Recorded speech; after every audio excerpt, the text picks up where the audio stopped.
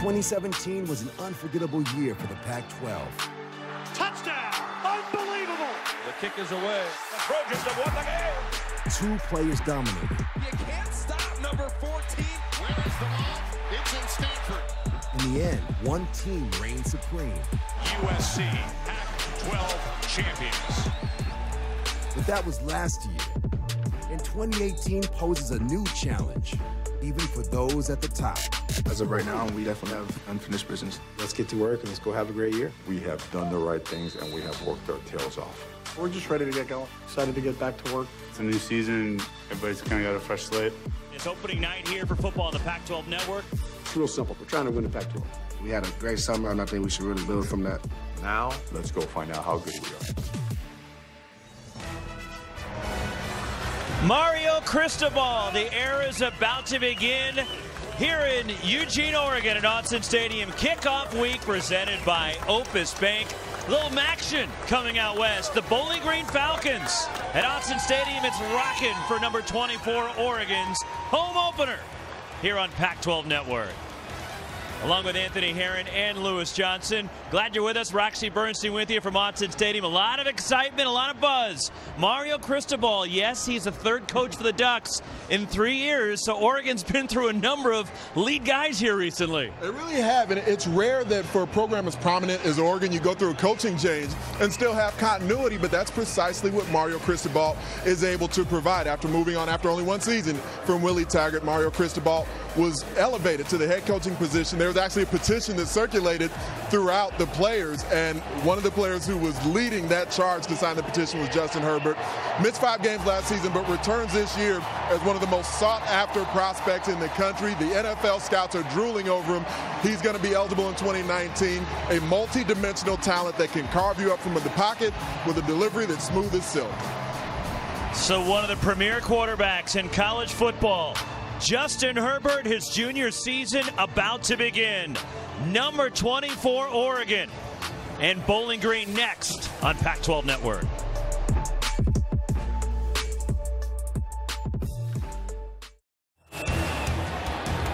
The Ducks taking the field. It is rocking here at Autzen Stadium kickoff week presented by Opus Bank.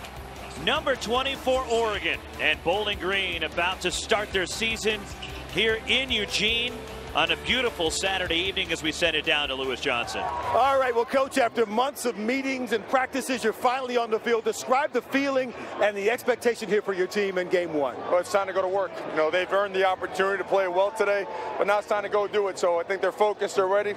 Let's, uh, let's go find out. Justin Herbert, a quarterback who has really worked hard on his body to be even stronger. What do you look for from him today in terms of leadership and performance on the field? The next natural step for a quarterback and a leader of your football team, you know, to be not only a vocal leader, continue to lead by example, make the plays that are expected of them, and every now and then, you know what, make a bigger one. Absolutely. Congratulations on all that, and good luck today, okay? Thank you, sir. Roxy, Coach Cristobal did a great job of standing still for 45 seconds. I can tell you he is ready to go.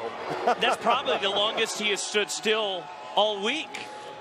Yeah, I would think so. He's been waiting for this opportunity. I covered him a number of games when he was at FIU. He got that first head coaching opportunity. That was not an easy situation that he took over. He was able to breathe new life into that program, and anytime I've been around him in the years since then, you can tell he's been urging himself, preparing himself to get another shot at having the big whistle, and he's ready for it today.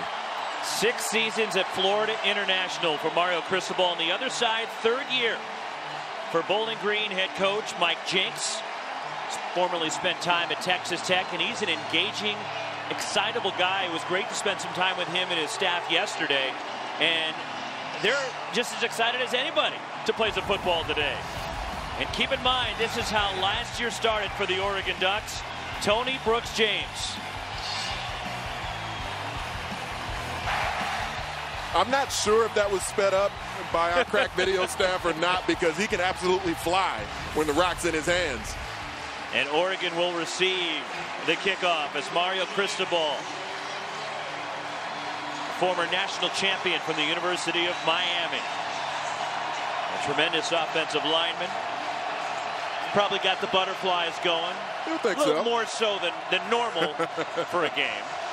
Now, he's done this before as a head coach, but not at a program like Oregon. Nate Needham kicking off for the Falcons. The transfer from Youngstown State. And we are underway. Season has started for Bowling Green and Oregon as Brooks James hit and brought down shy of the 20-yard line.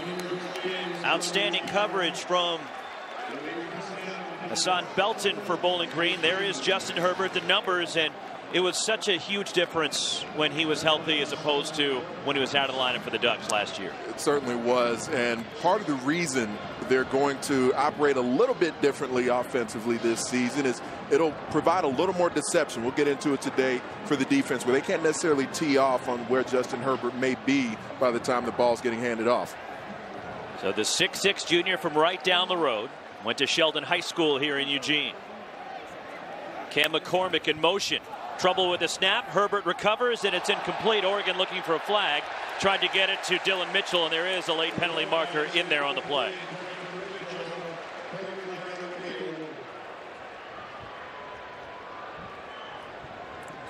Pretty clear hold. Pass interference.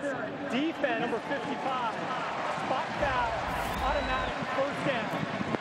Mark Duddy, our referee today here at Autzen Stadium. Kobe Coleman not allowed to just reach out and grab a receiver while he's in the midst of his route. Out to the 21 for Herbert in the pistol look. And here is the handoff to Tony Brooks James. And he's stacked up after a couple. Good pursuit by the Bowling Green front. They'll bring up second down is Colby Coleman in there on the tackle, along with Josh Crosland, a couple of sophomores for this young but talented Bowling Green football team. Herbert on the move. On second down. Looking deep. Throwing deep. Johnny Johnson can't hang on. Johnson had a step, had to wait, and just couldn't hang on. And it's third down for the Ducks. It's good play design by Marcus Arroyo, offensive coordinator here from Oregon. Move the pocket slightly. Allows the ability for Justin Herbert to have a cleaner pocket. Certainly a well-thrown ball. Johnny Johnson's got to come down with that one. Third and nine for Oregon. Good protection for Herbert over the middle. And it's through the hands again. This time it's Jaylon Redd who can't hang on. Well, can't put this drive on Herbert. No. Pass protection appeared to be really sound here. Bowling Green only rushed four. A little twist stunt inside. Protection holds up. Guns one over the middle through the hands of Jaylon Redd that time after the previous snap. Johnny Johnson couldn't come up with it. And there appeared to be, you know, guys look a little amped up right now. Even Herbert, you know, he kind of dropped a good snap on the first play and picked it up. Blake Maimone, the punter, the junior from Thousand Oaks. And it's a low, wobbly kick that takes an Oregon bounce. And trying to bust it outside. Good coverage by the Ducks on the return. Marcus Milton for Bowling Green. But the Falcons will have decent field position to start their day offensively. That was huge for Bowling Green defensively because it's a new system they're working this year. New defensive coordinator who was brought in in Carl Pelini. But now this is really viewed as the strength of their team with the offense stepping onto the field. Quarterback Jarret Doege, the sophomore from Lubbock, Texas. His brother Seth, former quarterback for Texas Tech, and now the receivers coach for Bowling Green as Mario Cristobal's defense goes to work. Doege last year made five starts as a true freshman. And here's the handoff, and on first down, it's Andrew Clair. Justin Hollins on the tackle. The impact players. Let's take a look when Oregon's defense is on the field. Jalen Jelks is one of the top returning defensive linemen in the entire country. PFF College has him graded out. He's top returning pass rusher in the Pac-12, and Troy Dye playing the inside linebacker second year in a row. PFF College had him top five in both run defense and pass defense. Empty backfield as Clair goes split out after gaining four in the first down carry. Doege has some space to run. Goes out of bounds and goes into Oregon territory. First down, Bowling Green. Eight yards. There's an attempt at an inside move here made by Jelks. They were able to block it up. That's what provided the running lane, in Doege in this air raid offense. Not necessarily a guy who wants to take off and run, but he's mobile enough to hurt you with his legs. Doege last year completing 64% of his passes for nearly 1,400 yards. Andrew Clair, the ball carrier, hit behind the line, breaking tackles, and it's only a loss of one, but it could have been worse. As Oregon seemed to have him trapped deep behind the line, as Kaulana Apelu there for the Ducks. As well as Troy Dye. Andrew Clair, really talented young ball carrier, started for them as a true freshman last year, racked up big yards. Back in midfield, second down for Bowling Green. And Oregon gets a timeout just before the snap. Some confusion defensively for the Ducks, and they take a timeout. Timeout. Oregon, their first charge timeout of the half. This will be a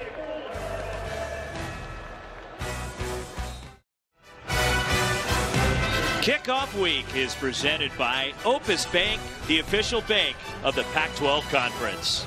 Ice cold Dr. Pepper, the official drink of Fansville. And by Taco Bell's Nacho Fries, this summer's tastiest blockbuster.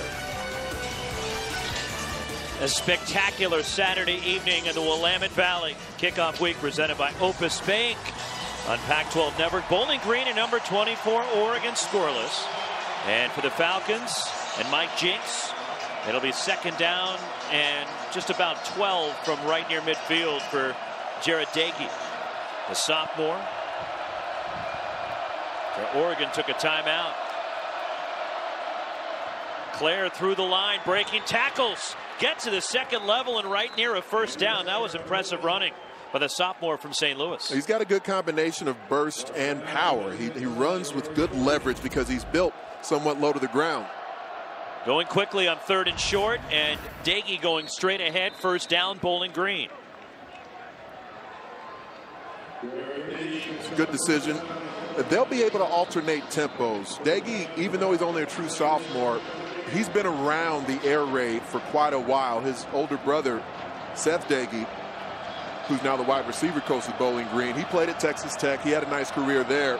And Jarret's been around this offense for years. Bryson Denley checks in at running back for Bowling Green. Play action for Doege. And coming back, catch is made. Scott Miller near another first down. Should have it for the Falcons. Seeing some more pace and tempo here. The Falcons offense. Miller is a player who's one of the leading receivers in Falcons history. Senior third team All MAC performer last year. First down, Bowling Green. This is Denley on the carry. And some running room down inside the 20. Brought down by Apelu and Hollins for the Ducks. This was an offense, Anthony, when Doege took over last year, they found a really good rhythm to end the season as Bowling Green over the final four games of the year averaged 35 points a game. He started a couple of games earlier in the year. They wanted to redshirt him. He was just performing too well in practice. They burned his red shirt. Then he got injured. Once he came back in, he lit it up. Apelu coming off the corner. Blitz picked up for the end zone. Doege's pass, and it's incomplete. Trying to get it to Derek Putavong, senior from Columbus, Ohio. As Doege taking a shot there for the end zone is in second down. It was a nice pickup by Andrew Clair back there.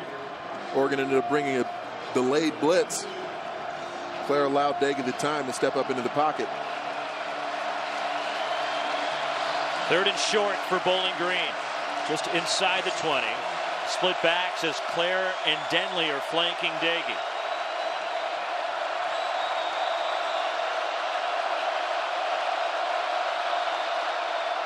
Doege throwing down the sideline, and it's out of bounds. Quintin Morris, the intended target. Well defended by Deommodore Lenoir from Oregon, and it's fourth down. And the pressure was well done by Lamar Winston coming off the edge because they did the little RPO fake. Winston didn't bite on that mesh point. Figured on third and long, Doege's going to keep it. On third and short, Doege was going to keep it, and he got the hit. Nate Needham for a field goal. This will be a 36-yarder. Out of the hold of Matt Naranjo. Trying to give Bowling Green the early lead. High snap. Naranjo gets it down. The kick from Needham is good. And Bowling Green on the board first.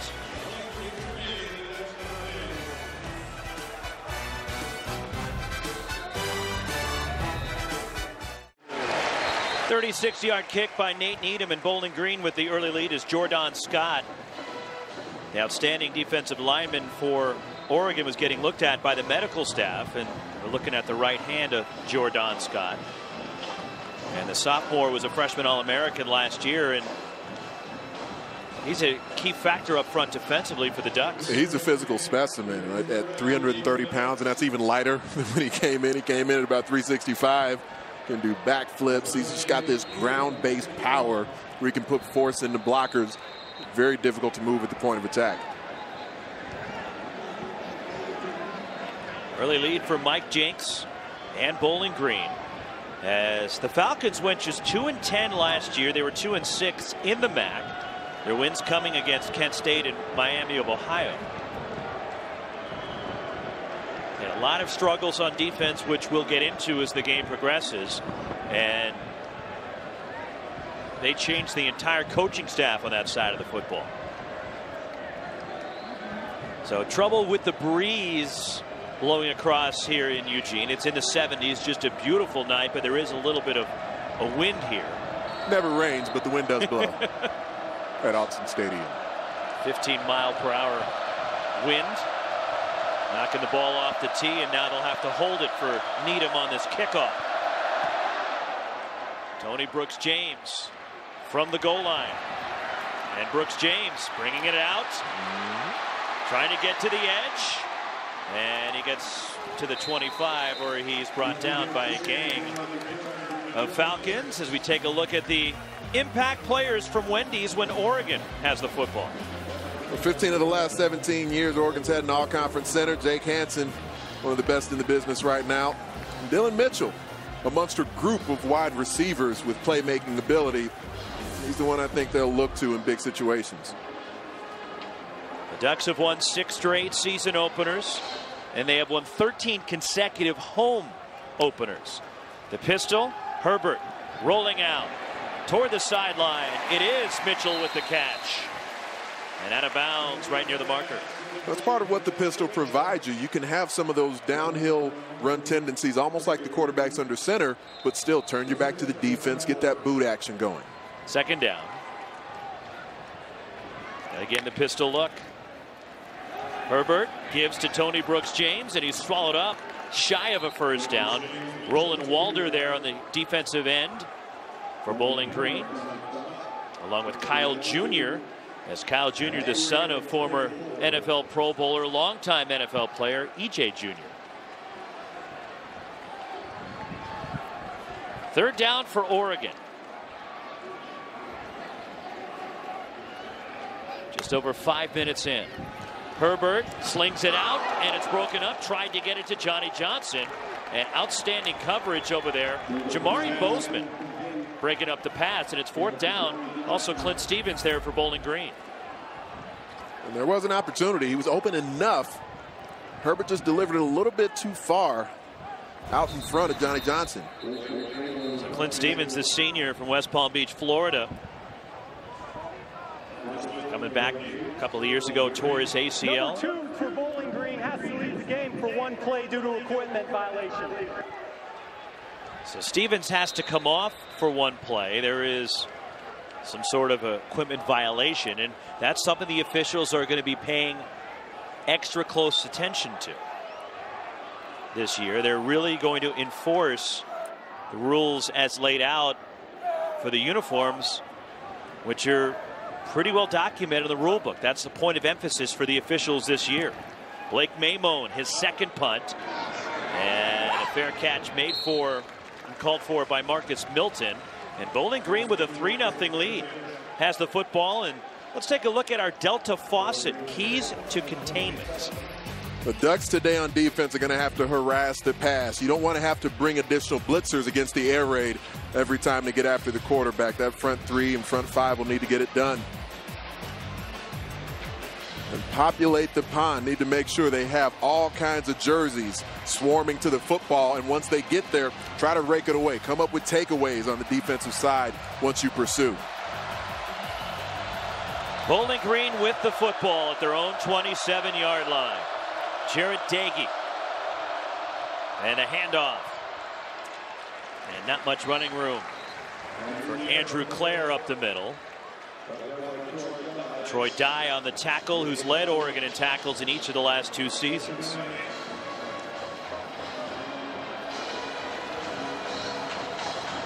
So Andrew Clair, who originally committed to Iowa, Anthony, mm-hmm. but the Hawkeyes wanted him to play corner. And he wanted to play running back, and Bowling Green gave him that opportunity as Clair makes the catch out of the backfield and runs for a first down. Nice catch and run from Andrew Clair, who, like Anthony Herron, could have been an Iowa Hawkeye. You were an Iowa Hawkeye. He could have been. Yeah, an opportunity. I got to say, looks like a running back to me. Everything I saw from last season's film, and certainly what we're seeing so far in today's game. So you're saying Kirk Ferentz got it wrong? He might have been an excellent defensive back as well. There's the politically correct answer for your former coach. Not wanting to throw him under the bus. Third and short. Doege. Flushed out. And going into a slide and making the catch, Scott Miller, first down, Bowling Green. There was pressure. Austin Faoliu did a nice job with an inside move, so he was chasing Doege outside the pocket. Doege on the move delivers a very accurate football. Miller makes a nice grab down on his knees. Second catch for Miller. Falcons out across the 40. Good protection for Doege. Goes underneath and Miller takes a shot, but hangs on to the football. Ugo Ugochukwu Amadi levels him. Saw that coming the entire way. It's what this offense does. It's like a tennis match. They threaten the numbers one way, then threaten the numbers the opposite way. Amadi comes in. That's what you want to see in today's football. Puts the shoulder into him. Still a physical hit. Doesn't pick up the flag. Second down, seven from the 45. Here's Clair straight ahead. Nothing there. He runs into Gary Baker. Also, Jalen Jelks. The box count will be key for Doege when facing Oregon's defense. Just like we see from Washington State over the years in that air raid offense. He has the ability to check it, look for a run opportunity when the box is lighter. If that front seven seems like they're in more of a pass coverage set. Bowling Green, two of three on third down. Just past the midway point of this first quarter. Doege over the middle. It's Miller again. First down into Oregon territory. Nick Pickett with the tackle. When they bring pressure like they did off the edge from Hollins, pass protection holds up long enough. Clean pocket for Doege. On the in-cutting route delivers a very accurate pass to Miller. 15 yards. Doege five for seven and running straight ahead, breaking tackles, but they blow the play dead. And there's a penalty marker down. So Bryson Denley was off to the races. Oregon was running in late off the sideline. Offside. Defense number 90. Five yard penalty. First down. Drayton Carlberg was offside. Jim Leavitt, who stayed with the coaching change. Willie Taggart tried to get him to go to Florida State, but Willie Taggart obviously couldn't recruit Jim Leavitt, who wanted to stay here in Eugene, who did outstanding work last year improving Oregon's defense and sticking around with Mario Cristobal. It's on the ground. Bryson Denley for Bowling Green. There is Jim Leavitt, who was spent time in Florida as the head coach at South Florida, also was the defensive coordinator, came to Oregon from Colorado. He's been around Mario Cristobal a lot over the years. That's part of why he had the comfort level to be willing to stay here. At the 29, first down, Bowling Green. Through the line, inside the 20, down to the 15 is Bryson Denley. It's Justin Hollins finally tripped him up, but an impressive drive keeps on rolling for Bowling Green. And here now we're starting to see the ball carriers from the Falcons run through contact. Some missed tackles from the Ducks. 14 more for the Falcons are already approaching 100 yards of total offense. And a good balance, 54 on the ground, 41 through the air. Doege to the outside. Quintin Morris. Brought down by Justin Hollins, shy of the first down and shy of the five. It'll bring up second and short. The entire defense was slanting in that direction. Coverage rolled that way as well. But again, more missed tackles, a few additional yards after the catch. It's now the ninth play of the drive. Andrew Clair comes back in and running back for the Falcons. Presley Moats, the tight end. As Doege for the end zone. Touchdown, Bowling Green, Scott Miller.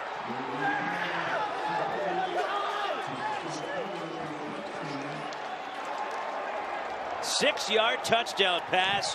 Jarret Doege to Scott Miller. And Bowling Green silencing the Autzen Stadium crowd. True sophomore Texan. He fit one into a tight window between a couple of Ducks defenders. Nate Needham on for the extra point.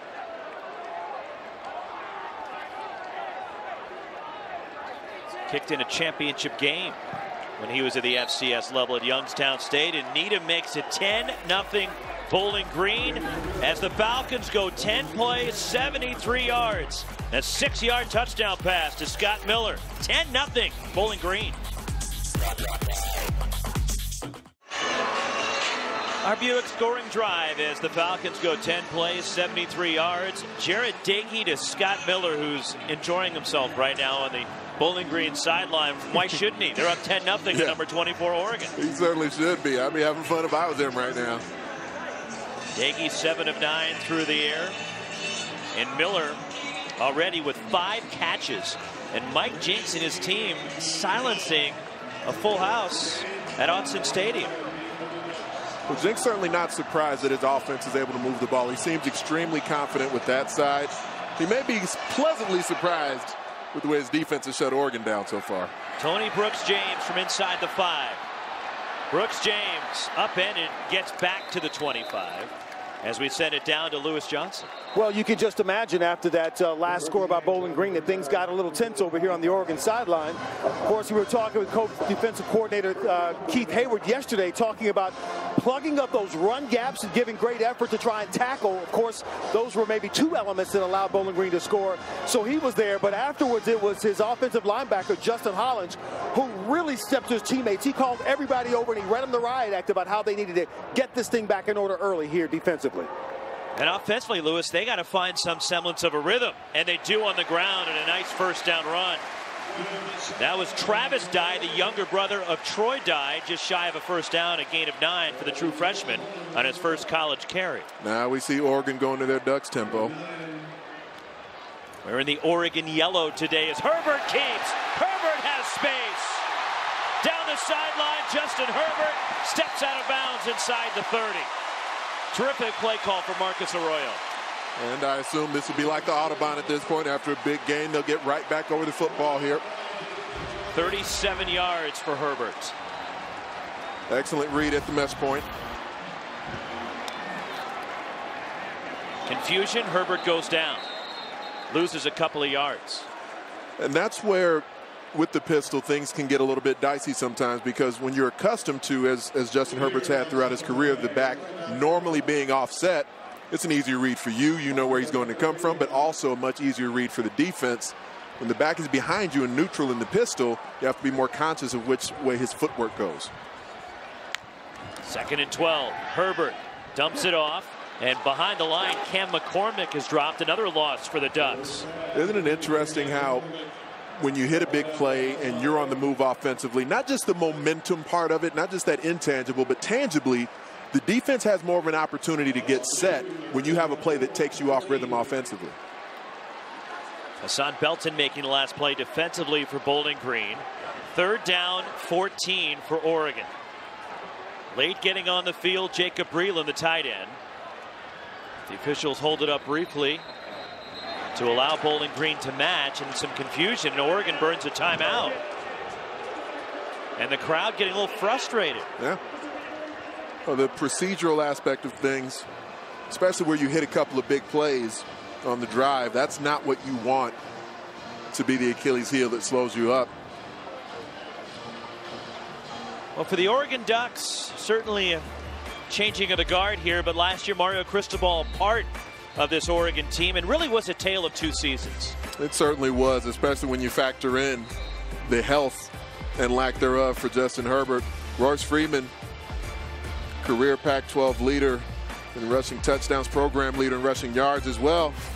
And now Mario Cristobal taking the program over. And here's what things look like with Justin Herbert and without. Especially, you look at that points category. Averaged just about 50 points with him. Without him, only 15 points per game. Slight difference. Sounds similar. Third down for Herbert. Good pocket. Down the sideline in the leaping attempt. Johnny Johnson can't hang on. Covered by Clint Stevens. that's a tougher catch than some of the other drops, but that's still a drop. Johnny Johnson goes airborne, but still, ball hits him in both hands. So this is a big time program. He's a big time talent. The team is down by two scores. These are the plays the Oregon Ducks skill position guys need to begin to make. Fourth and 14. And Oregon will go at the Bowling Green 33. CJ Verdell checks in at running back. Herbert over the middle for the end zone. Touchdown!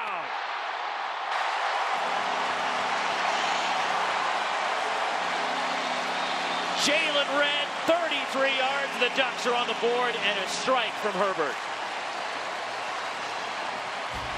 I mean, on fourth and Portland, Justin Herbert with a clean pocket delivers a strike to Redd. He couldn't have gone out and handed the football to him any more accurately. Perfect pass from Herbert. Jaylon Redd, second career touchdown catch the sophomore from Rancho Cucamonga in Southern California. Adam Stack, the extra point. 10-7 Bowling Green, but the Ducks are on the board. Justin Herbert engineers the drive and gets it to Redd. Hiring was always a huge challenge. Endless hours on job sites with not a lot to show for it. Then I found ZipRecruiter. They figured out hiring. I post my job, and they send me the right people because their technology is smart. Go to ZipRecruiter to post over 100 job boards with one click. Then easily select the best candidates from your dashboard. ZipRecruiter often sends me the right person in 24 hours. The smartest way to hire. ZipRecruiter, official hiring partner of the Pac-12 Conference. Try it for free at ziprecruiter.com slash Pac-12. So how about that on fourth and 14? And Herbert throwing a perfect pass to Jaylon Redd. And for Oregon, I, I, think everybody's breathing a sigh of relief now. And watch as Redd comes from the slot, and when he begins to make the move towards the inside, he's not initially open, but then as the ball comes out of Justin Herbert's hands, he can tell that Redd is going to bypass the inside defender, that safety, because of the pedal. Those are the things that are more next level about his abilities from within the pocket to see the spacing of the safety and from a depth standpoint, know where he has to throw the ball. Noah Dahl kicking for Oregon. And on the return, and a huge hit, upended. Ravion Hargrove was leveled. Very clean pocket here for Herbert. Protection holds up, steps into it. As soon as he sees the back of Marcus Milton, he knows he's got a sense for where he can deliver the ball. It's part of what makes him so special. A lot of guys have stronger arms. Guys are mobile at 6'6", 235. But he's got a level of touch and anticipation to the way he can pass the football. He's not just a thrower like you'll see in these spread offenses sometimes. Worst field position. The Bowling Green has started to drive on thus far in this first quarter. Great kickoff coverage tackle, by the way, by Jevon Holland. And on the ground, it is Andrew Clair for Bowling Green. Troy Dye's looking kind of feisty early in the game here, which I don't mind. You're Mike linebacker in this system. It's his second year being an inside linebacker. He hadn't done it. He, he'd been a safety in high school and an outside linebacker his true freshman year. He's got more of that Mike Backer attitude. Second down. Andrew Clair runs for a first down and more. Out near midfield, hard-nosed running, finally wrapped up and brought down. Deommodore Lenoir. And Brady Breeze with a tackle, but another terrific run by Andrew Clair. And watch Clair just churning his legs, running through contact. He's only about 200 pounds. He runs with some force. 28 yards for Clair already is 47 on the ground in this first quarter. They keep it on the ground with Clair, and he gets into Oregon territory. Troy Dye in on the tackle, along with Austin Faoliu. There's a, a, finite difference for the defensive front of Oregon, where within this scheme that Jim Leavitt runs, up front, you're called upon to hit blocks and hold the point of attack. Sometimes I'm seeing them getting off those blocks a little too soon, trying to penetrate and not really condensing the hole. Ravion Hargrove went in motion. Empty backfield for Jarret Doege. Coming back with the catch and a huge tackle draws a flag on Hargrove. That was Troy Dye a little over aggressive there. It certainly looked violent. I'm not sure he got the face mask. He got plenty of neck and probably some face mask at the end there too. If you're looking for an example of hogtied, is that it? Was it Jack Tatum back in the day that was famous for those? And a few other things. There's no foul for face mask. The tackling player had the runner by the neck. No foul. Okay. You saw it right away? You didn't think he had the face well, mask. Like I said, it looked violent. And I understand why initially the, the officials are a little bit awestruck by it.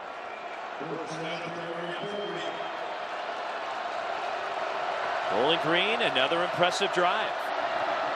Bryson Denley, the ball carrier. Not much running room. Troy Dye there with Faoliu and Apelu. And what Troy Dye did on that play was he approached the line of scrimmage more quickly. Once he read run and the back started to declare, he immediately started to step forward to make the play at or behind the line of scrimmage. That's part of the growth he'll need to continue to make as a Mike Backer, not waiting on the back to advance on him.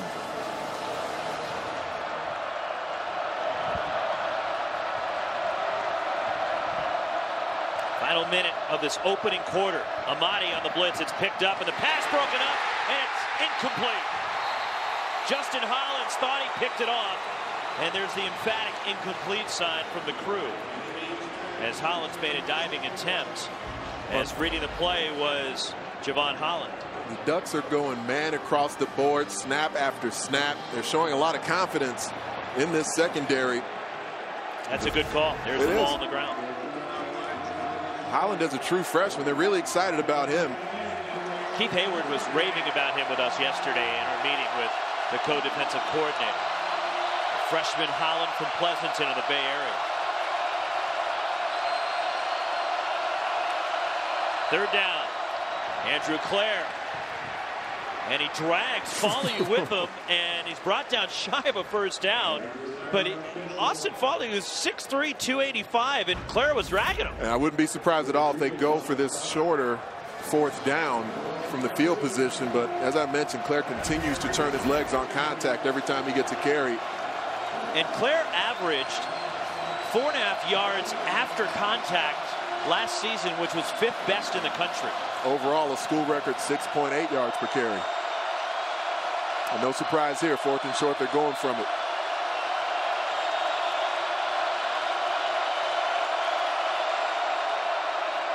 On the ground, Jordan Scott swallows it up. Also, Justin Hollins, but a great job by big number 34 to bring down Andrew Clair and a turnover on downs by Bowling Green. There he is right there on the interior, able to penetrate at the point of attack. Moves one blocker out of the way, then goes and eats up Andrew Clair in the backfield. It's hard to get skinny in a gap when you're 330 pounds, but Jordan Scott makes it look easy. A big defensive stand for the Oregon Ducks, who this is their best starting field position of a drive today.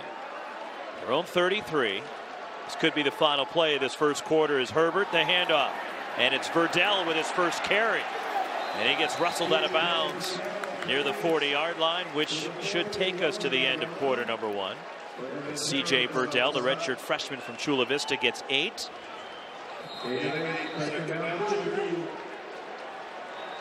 And we've reached the end of one at Autzen Stadium as Bowling Green with the lead at the end of 15 minutes.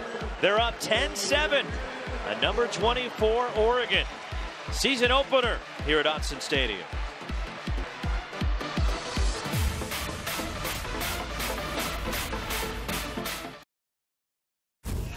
Starting the second quarter at Autzen Stadium, Justin Herbert and the Oregon Ducks and Bowling Green and Justin Herbert finally got going on that last drive. Only three out of seven passing the football, but the majority of those are drops. He got the chains moving with his legs at one point and threw this dart 33 yards down the field for a touchdown strike. That got Oregon right back in the game. Bowling Green outgaining the Ducks 159-92 in that first quarter. It's second down for Oregon at their own 41 as we start the second. C.J. Verdell, first down Ducks. Tackled by Roland Walder, transfer from Kentucky. What I liked about that run from Verdell was the defender on the end stemmed down inside the tackle, and he was able to see that and read it, made a nice cut. Play action with Verdell. Herbert wide open, too high. Jacob Breeland would have walked into the end zone. This was one of the few misses that were certainly on Justin Herbert. Breeland came wide open on a nice route combination. Just led him a bit too much. Breeland tried to stretch out for it, couldn't quite get there. Second down 10. In the pistol, and C.J. Verdell with a flag down. And Verdell runs close to a first down, maybe enough. Brandon Harris on the tackle, will check the flag back to the line of scrimmage.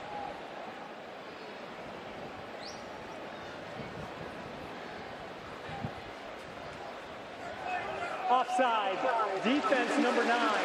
That is declined. Excuse me, that penalty is declined. The result of the play is a first down. Roland Walder was offside and so Mario Cristobal showing us it's how do you replace Royce Freeman? Looks like by committee. So far, so good with the committee of running backs. The offensive line starting to impose their will more in the game, opening up running lanes. Ryan Bay, the motion man. Feet getting tangled in the backfield and the tackle to Justin Herbert. As C.J. Verdell and his quarterback got their feet knotted up before the play could get going. This will continue to be a work in progress because the pistol is fairly new to this offense. When the back again is coming from directly behind the quarterback, Justin Herbert's steps need to be different. The running back steps have to be different. Trouble with the snap out of the pistol. Herbert racing to the outside. And he steps out of bounds inside the 40 yard line. Shoved out by Clint Stevens.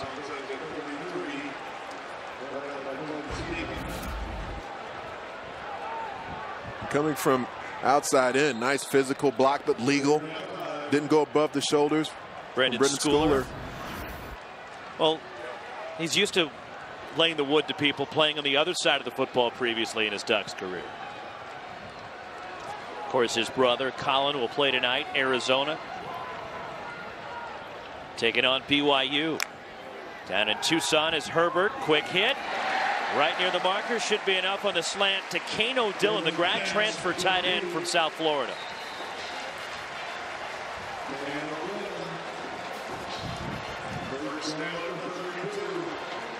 Kano Dillon, who was hurt early in camp, really has come on, said Mario Cristobal, the last couple of weeks. Herbert on play action. And it's broken up and nearly intercepted. Oregon fans wanted a flag as Montre Gregory, the senior corner. Check the, the left arm here. He did hook him on the shoulder a bit, so it wouldn't have surprised me if that got called, but you know, I'm a defensive guy by nature. I think overall, fairly good coverage. Receiver didn't separate. Tried to get it to Dillon Mitchell.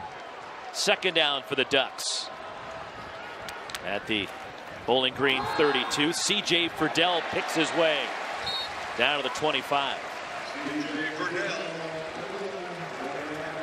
It's different running style for the backs when they're offset versus when they're behind the quarterback. There's an injury as Cam McCormick leaving the field, the sophomore tight end from Bend. Last year all Pac-12 academic. And they're taking him off on the cart, which is usually not a good sign. C.J. Verdell hit at the line. There's a flag down. Nice surge by Jerry McBride, the junior safety. We'll check the flag.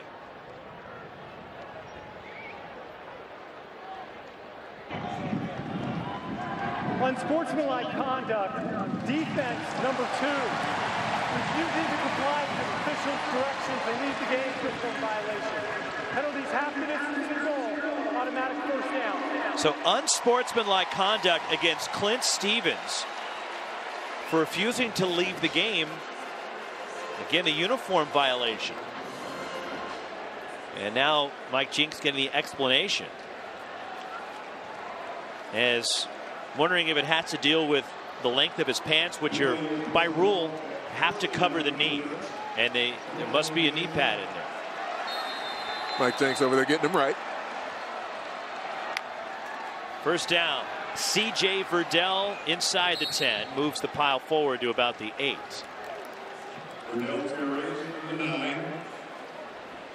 C.J. Verdell getting a chance now. We've seen Brooks James Travis Dye, CJ Verdell, probably see Darian Felix at some point, Cyrus Habibi-Likio. On the rollout, Herbert for the end zone, touchdown Oregon, Dillon Mitchell.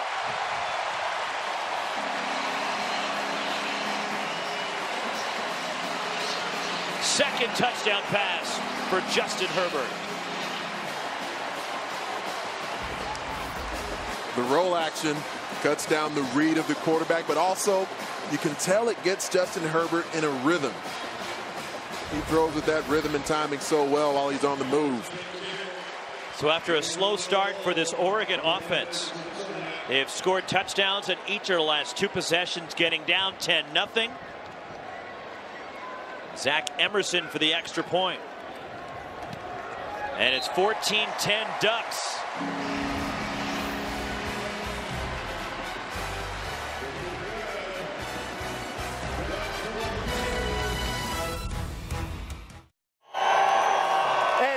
Ducks. in Eugene. First weekend of Pac-12 football continues live from Autzen Stadium. And how about this? A chance to catch up with the Oregon Athletic Director, Rob Mullens, who is a busy guy. You've got 20 sports under your uh, under your control about 450 athletes, but guess what? He's got a new responsibility. The new chairman of the playoff selection committee for college football. How in the world will you manage all of this and that? Well, obviously my first priority is here, but it is an honor and a privilege to serve as the CFP selection committee chair, obviously. And, you know, you can't do this if you don't have a great staff, Louis. Right. And I have an outstanding staff that takes care of everything here. And the CFP staff gives us the incredible resources and support to be able to do both. It's an incredible undertaking you have. And I want to ask you, as you look at the schools and how their schedules are and what have you, tell us about your strategies. You guys uh, schedule your non-conference teams because you're already scheduled all the way out to 2030. Yeah, we're way out there. You know, we've had a philosophy of, you know, we obviously play non-Pac 12 games, one of the toughest leagues in the country, and we've always added another Power 5 conference game. You know, so we've played Tennessee, we've played Nebraska, and in the future we have Michigan State, Ohio State. Right. Uh, so that's important to us, and then we can look at it for a regional FCS and then a group of five. And on a day like today, after all the meetings and planning to sit out here and enjoy this at Autzen Stadium, what's it like as the AD? Well, I mean, obviously, opening weekend of college football is like a holiday, and to be out here on a beautiful day at Autzen yeah. with a packed stadium and so much energy, it's it's why we're in the business. Rob, congrats on the honor. Good luck with managing all that. Huh? Thank you. Appreciate you guys being here. Go Ducks. All righty. Thanks so much. Rob Mullens, guys. All right, Lewis. Yeah, that is a big chore when you're the head of that committee.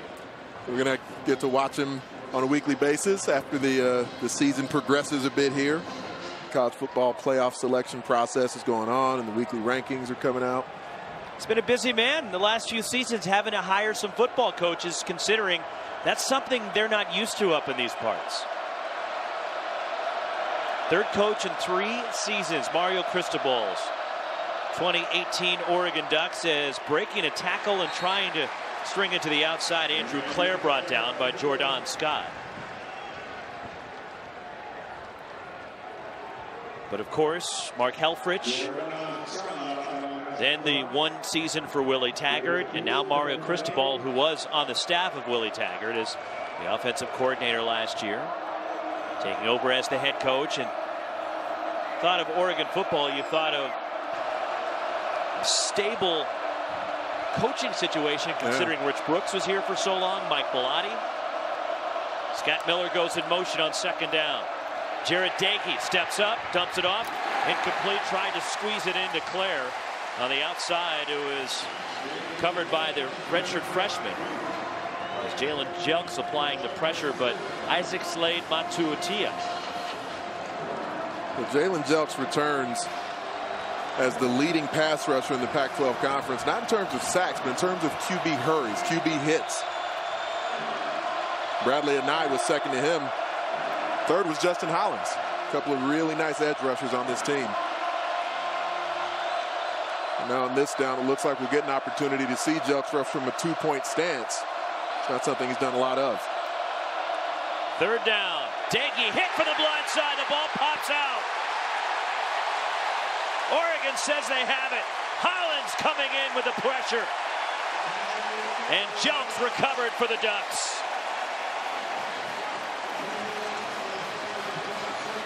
If you're an offense behind the chains, these are not two guys you want teeing off on your QB. Justin Hollins barely got touched with a simple dip of his inside shoulder. Left tackle Lorenzo Taborn had no shot. He laid the wood on Doege.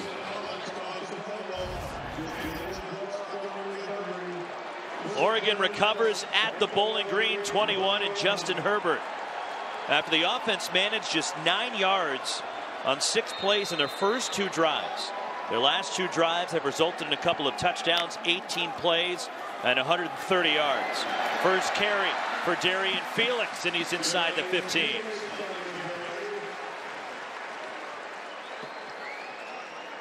Eight more for Oregon on the ground. Brandon Harris on the tackle. So after a slow start, for Oregon, down 10 nothing. Darian Felix, first and goal, Oregon down to the six. And they're moving the point of attack, Rocks. This offensive line is really getting churning now. It, it's it's different. And we'll get a chance to take a closer look at the pistol versus the offset back as we keep moving forward here. But as quickly as the back advances on the defense, while that hole opens up. There are the numbers last year for Oregon is Mario Cristobal, the Dunks. Have it going now. Looking for more, up 14-10.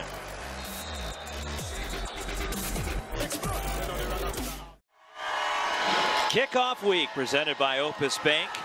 And after Bowling Green jumped out to a 10-0 lead, Oregon has got it going now. They're up 14-10, and they have a first and goal at the Bowling Green seven-yard line for Mario Cristobal's debut Yes, he did coach the Vegas Bowl, though, as and he was named the head coach before the Vegas Bowl.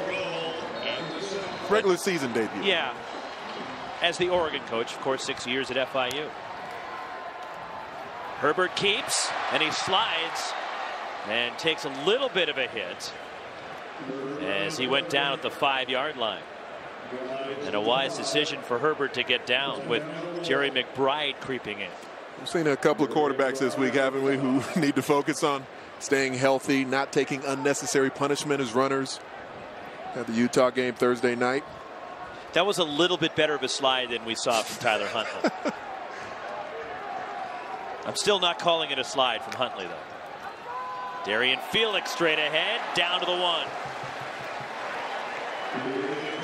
There's a lot of experience on this Oregon offensive line, but there's a true freshman who's in at left tackle right now. Penei Sewell, one of the top players in the country. He's in there holding his own as well. Struggled a little bit early in the game. And now they're running the rock, he's really getting going. He's 6'6", 360. Freshman from St. George, Utah, down in the southern part of the state. Herbert keeps. Herbert into the end zone. Touchdown, Oregon. Two through the air, now one on the ground. Eight career rushing touchdown for Justin Herbert. Call him Colossus. Basically just turns into a QB lead. He takes all 235 pounds and dives it into the teeth of that Falcons defense. The fumble results in a touchdown for Oregon. Zach Emerson for the extra point.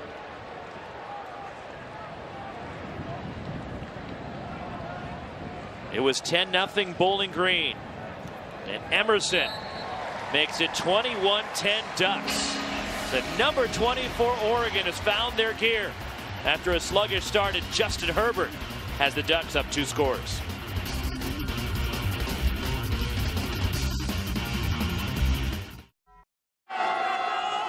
The Big O up 21-10 as the Mighty O got down 10-0 and now up 21-10 on Bowling Green.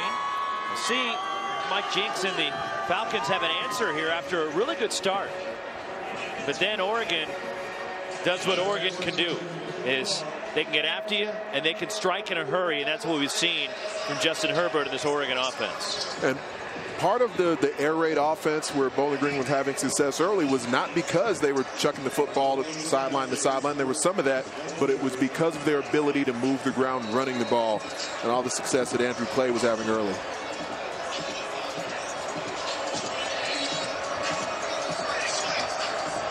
Zach Emerson to kick off. Amadi having to hold with the wind, knocking the ball off the tee. And staying in the end zone is Ravion Hargrove. We'll come out to the 25. And we go to the studio and Mike Yam. All right, Roxy, I can tell you that I already miss you. I feel like it's only been a couple hours since we were together. It's an Opus Bank studio update. We check in on UCLA in Cincinnati. The Bearcats actually up by a touchdown. That changes, though. Kazmeir Allen, 74-yard touchdown run for him. The significant news in this game, Wilton Speight getting knocked out with an injury. Dorian Thompson Robinson getting some burn right now. He's 4 or 5 passing, good for 23 yards.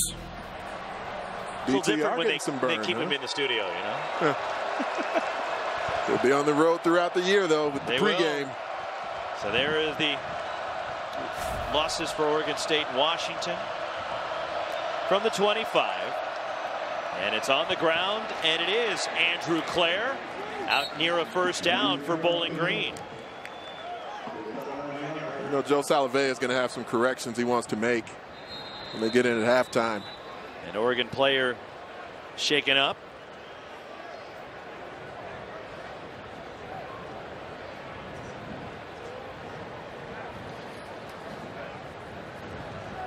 While the medical staff attends to the injured Oregon Duck will step aside.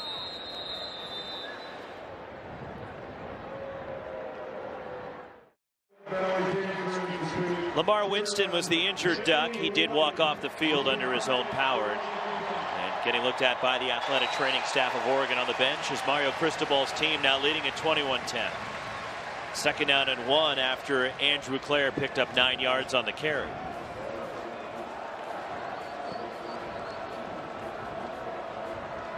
Bowling Green looking to get back on track offensively after a good start.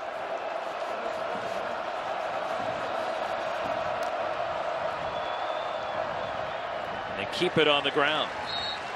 And that will be a first down for Bowling Green as Bryson Denley uh, brought down by Troy Dye, but a run that moves the sticks for the Falcons. It does a couple of things. Gives your defense a little bit more time to rest continues to keep the opposing defense off balance with Bowling Green's offense. At the 36, Doege's 8 of 12. And again, the handoff, it's Bryson Denley. Uh, just five carries last year, the high school track All-American. Jordan Scott. Running off a big club on his right hand. We saw earlier in the game, and Lewis reported they were working on that right hand. Initially, they just taped a couple of fingers together. Apparently, that wasn't enough to get the job done. So now he's got what we D linemen call a Q-tip. Did you ever have hand. to play with one of those? Oh, yeah, several times. It's not fun.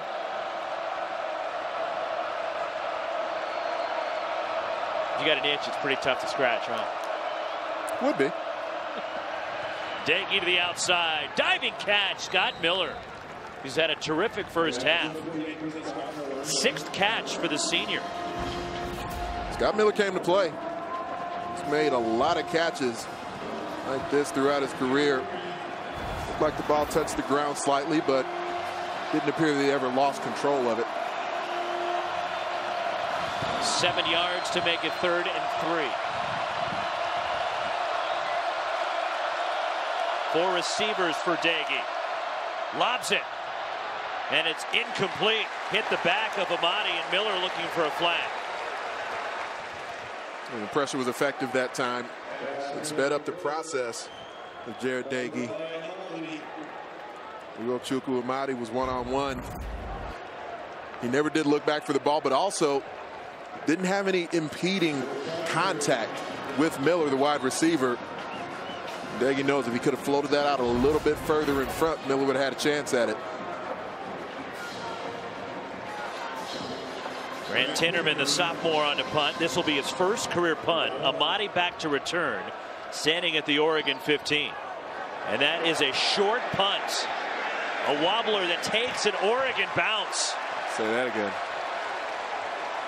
Finally stops right near the 45. That is a 12-yard punt as we send it to the studio and Mike for another update. Some good Oregon luck there. All right, Gatorade Studio update. Alabama, the number one team in the country, matching up against Louisville. Tua Tagovailoa. How about that to Jerry Jeudy? I feel like we've talked about that quarterback competition a little bit. Tua 9 to 12, passing 170 yards, and the tide right now rolling 21 zip. All right, Michael, Oregon is starting to roll here. They're up 21-10 as Herbert, here's the give. There's a flag, two flags in the play. As Tony Brooks James may have been brought down by the face mask. That one not nearly as violent as the Troy Dye hit earlier, but as we quickly found out. But Troy this one was illegal. Actually, it was. Well, at least we think it was. Personal foul, face mask, Defense number nine. 15-yard penalty from the previous spot. Automatic first down. Roland Walder called for the face mask. Yep. Pretty that, obvious. That's accurate.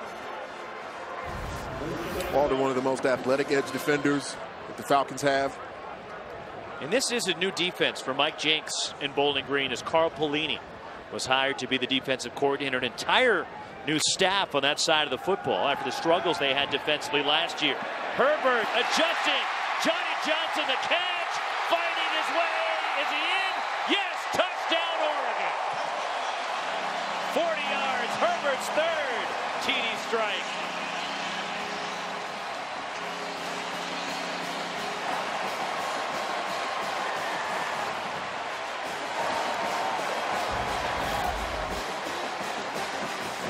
He continues to turn his legs. Johnny Johnson would not be denied. We'll see. Very close. Of course, review every play. Zach Emerson for the extra point. Let's see. He's got three defenders. The ruling on the field is a touchdown. The previous play is now under replay review. And that shoulder elbow area is the first thing to go down. So there's no knees or shin to worry about. His hip doesn't come down first. So there's, there's as much as much advancement as Johnny Johnson could really hope for with the football being cradled under his arm before any other body part could declare him down. Do you think it stands? I think it does stand because so far I'm not seeing any angle that I would say definitively shows with any indisputable nature that the ball isn't across the goal line. Here's one more look.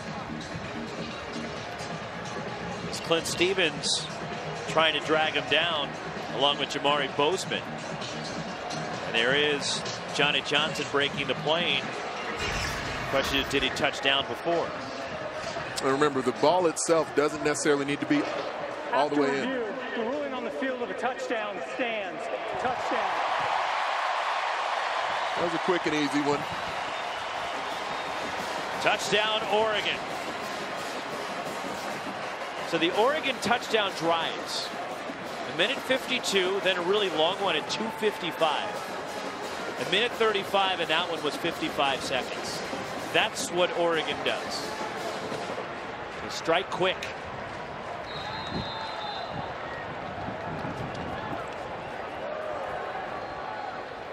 Zach Emerson for the extra point. And it's now 28-10 Ducks who are down 10-0. Mario Cristobal getting and rolling. Let's watch him work here from the pocket. It'll be clean again. And this will be another release that takes him right up the numbers. There's not a lot of trajectory on the pass, and so Herbert has to be supremely accurate with the delivery because he's not putting much air under the ball. There's not an opportunity for the receiver to adjust to it on the run. He goes back shoulder, just flicking it directly above the ear of the defender in a trail position. Herbert's the leading returning quarterback in the Pac-12 with a clean pocket. Averaging over 11 yards per attempt anytime he aired it out last year. And you got to love the effort from Johnson. Three different Falcons trying to keep him out of the end zone. He kept working. Oregon for the 10th time in the last 11 seasons ranked in the AP top 25 to start the year. And they've won 20 of their last 22 at home when they have been nationally ranked. And overcoming rough start down 10 nothing, but it's now 28-10. Defense getting in the act, forcing a turnover in a short field. Justin Herbert, three touchdown passes and a touchdown run. Emerson the kickoff with a holder. Ravion Hargrove inside the five. Flag comes flying in from well across the field. And we'll see if this will back up Bowling Green.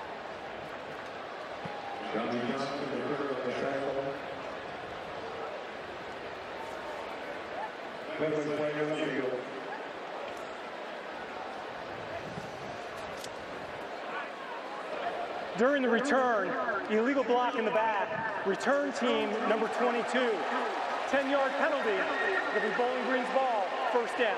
Robert Jackson Jr. called for the illegal block, and for Bowling Green, Anthony, what did they need to do to try to get going again offensively? Well, the amount of time remaining in the half, there's still over seven minutes left. So they don't need to get back into their hurry-up mode yet. Their defense could use a blow. So I think continuing to use Andrew Clair, maybe not only in the run game, but the screen game, because that pass rush from the Oregon Ducks has started to get going here. You want to find some way to take some starts out of the opposing D.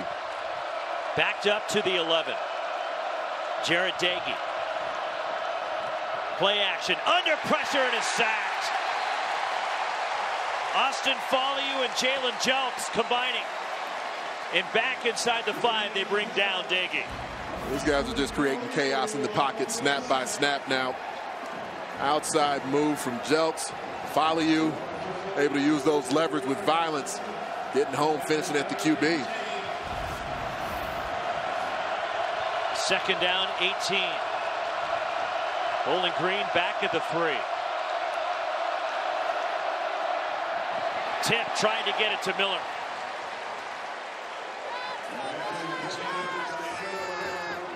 That's tough duty on a quarterback. They left Hollins unblocked. So both blockers end up folding down inside. Hollins just able to calmly hop up into the air, deflect the pass.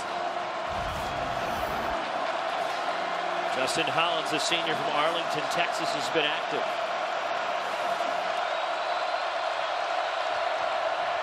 Third and long. Doege slings it out. Miller. And Miller pushed out of bounds by Jevon Holland. A creative play by Bowling Green as they get some breathing room, but it's fourth down. They get 16 when they needed 18. It's out to the 19. It at least does allow for a more comfortable punt formation. You don't have your punter back on his own end line. After a miserable first punt for Grant Tinnerman. Amadi back to return, standing at the Oregon 45.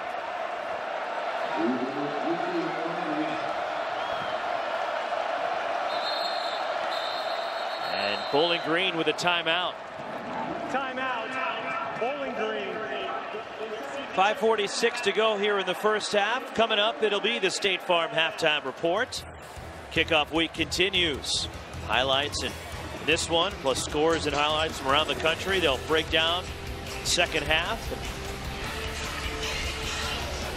Big games going on later tonight. Arizona State, the Herm Edwards debut against UTSA at Sun Devil Stadium. And Kevin Sumlin's debut as Khalil Tate and the Wildcats will take on BYU. I referenced the continuity this program was able to keep with a new head coach. Kevin Sumlin, certainly a new offensive staff coming in with him, but defensive staff with Marcel Yates staying in place. Last four possessions for Bowling Green. Turnover on downs, fumble, punts, three and out. Now punting for a second consecutive series and a high snap. Tinnerman has trouble with it, and it's a safety. And Oregon gets a big special teams play and a Bowling Green miscue.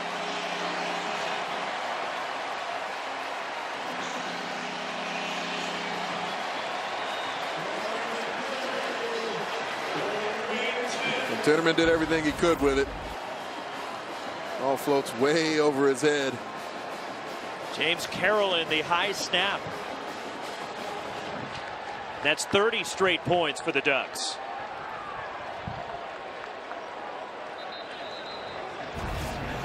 Well, if it did rain at Autzen Stadium, it'd be pouring right now all over the Falcons. After that 10-0 lead they had, starting the game out. They were feeling good. You saw them on the sideline. Camaraderie was at an all-time high. There was a strong vibe and energy coming out Mike Jinks' sideline. And there was a lot of frustration and just, it looked like some anger on the Oregon sideline. But the script has been flipped and now Oregon's feeling good about the way they're going. Times have changed down at field level. And you, you, you tend to see these things in week one. Part of what you come to expect a bit. We saw some similar activities on Thursday night where Utah took Utah a bit to get going. Utah was down going. 10 nothing. A couple of early turnovers by the Utes, and then they steamrolled Weber State to a 41-10 win. And slow start here for Oregon, but now they found their stride. From the 20, a kickoff for Bowling Green and Nate Needham.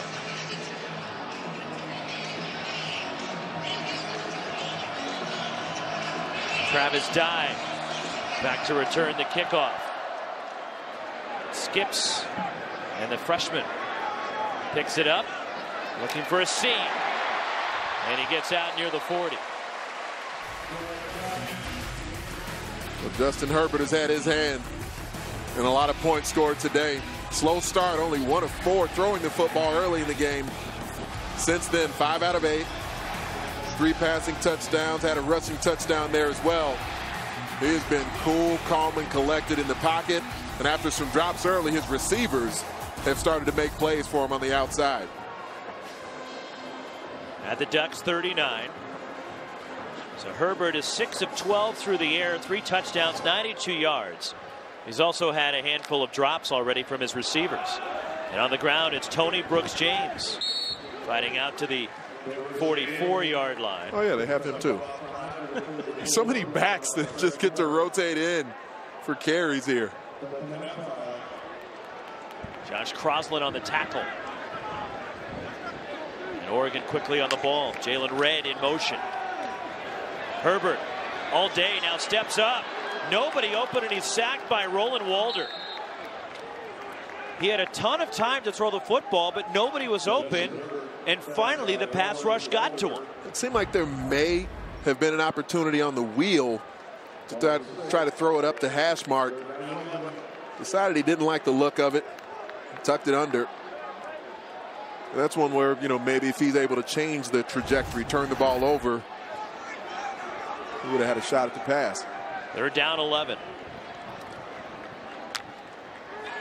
Herbert, screen to Tony Brooks James. Has a lane. Brooks James down the sideline.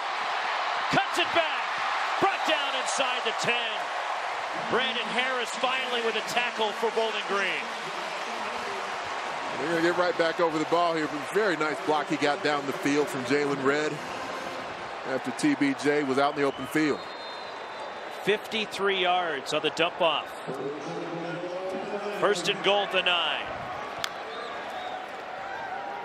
Tony Brooks James to the five. The tackle. Sorry, partner. Simple screen pass.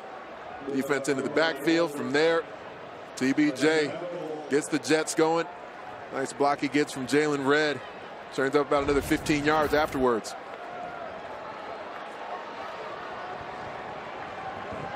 Cyrus Habibi Likio checks in at running back. And he gets his first carry. And he's into the end zone. Touchdown, Oregon.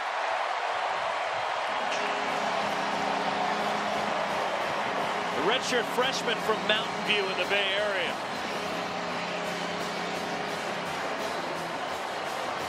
First career carry, and Cyrus Habibi Likio gets a touchdown.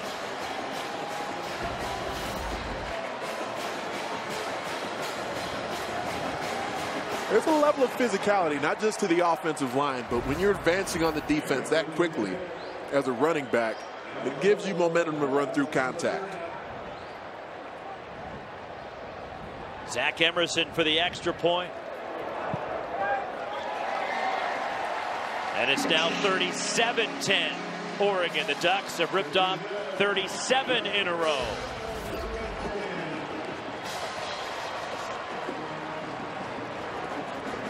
Maui Jim, view is better from here. And the view is better from the end zone for Oregon now. Boy, you, talk about a turn of events here. Well, the duck is going to be exhausted by the time we hit the, the halftime locker room. I think Lewis should start doing push-ups with the duck. I bet he can hang right there with him. Yeah, I'm with you on that. Me, not so much, but Lewis, I'd have faith in. I thought about it for a moment, and then I saw the scoreboard. and we're only in the second quarter, Lewis. exactly.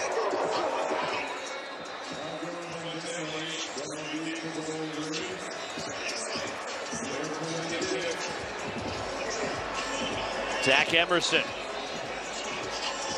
will kick it off for the Oregon Ducks.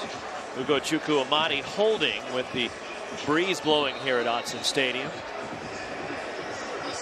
And Bowling Green's got to be a little shell shocked right now.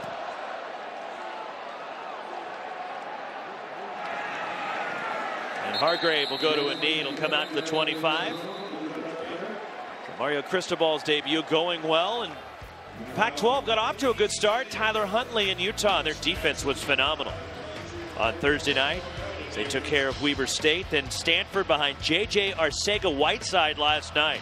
What a night for the Stanford receiver as they pulled away from San Diego State. Steven Montez was magnificent and a huge win for Colorado as they destroyed Colorado State. And Bryce Love was certainly held well under control by San Diego State. KJ Costello, JJ Arcega Whiteside, they got it rolling through the air. 226 on the board. From the 25. Andrew Clair on the ground. Justin Hollins, Troy Dye on the tackle after a short pickup. Inside three and a half minutes to go here in the second quarter. And a second quarter that's been dominated by the guys in the Oregon yellow. Not to be confused with your average everyday yellow. It is Oregon yellow. A lot of the fans decked out in the Oregon yellow as well. Another carry for Andrew Clair. Oregon saying they came away with it as coming away with a football with Keith Sims. But the officials said the play was dead before progress had been stopped. Well, they've done a nice job. As I agree, the forward progress was stopped by Clair. But they've done a nice job of some situational slants. They've moved the defensive front. And it's not always calling them directly into where the run play is, but They're not stationary, just hitting blocks anymore. Arby Marlowe, the third in motion. And that is a lateral. And Bryson Denley hit behind the line and dropped. Jalen Jelks.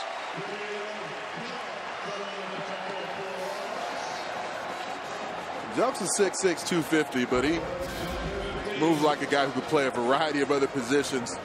Get him in a two-point stance here. It's a nice look at the versatility he has as an athlete. Those long levers. He's not just sitting there wrestling with the offensive tackle snap after snap.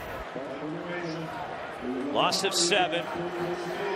Tinnerman on to punt again. Had trouble with the snap last time. It was a high snap. Better snap, but a low line drive punt that bounces and takes a Bowling Green bounce. It appeared to be touched by an Oregon player, but the Oregon player may have been blocked into the ball. And it's a pile up, and Bowling Green says they have the football. It is.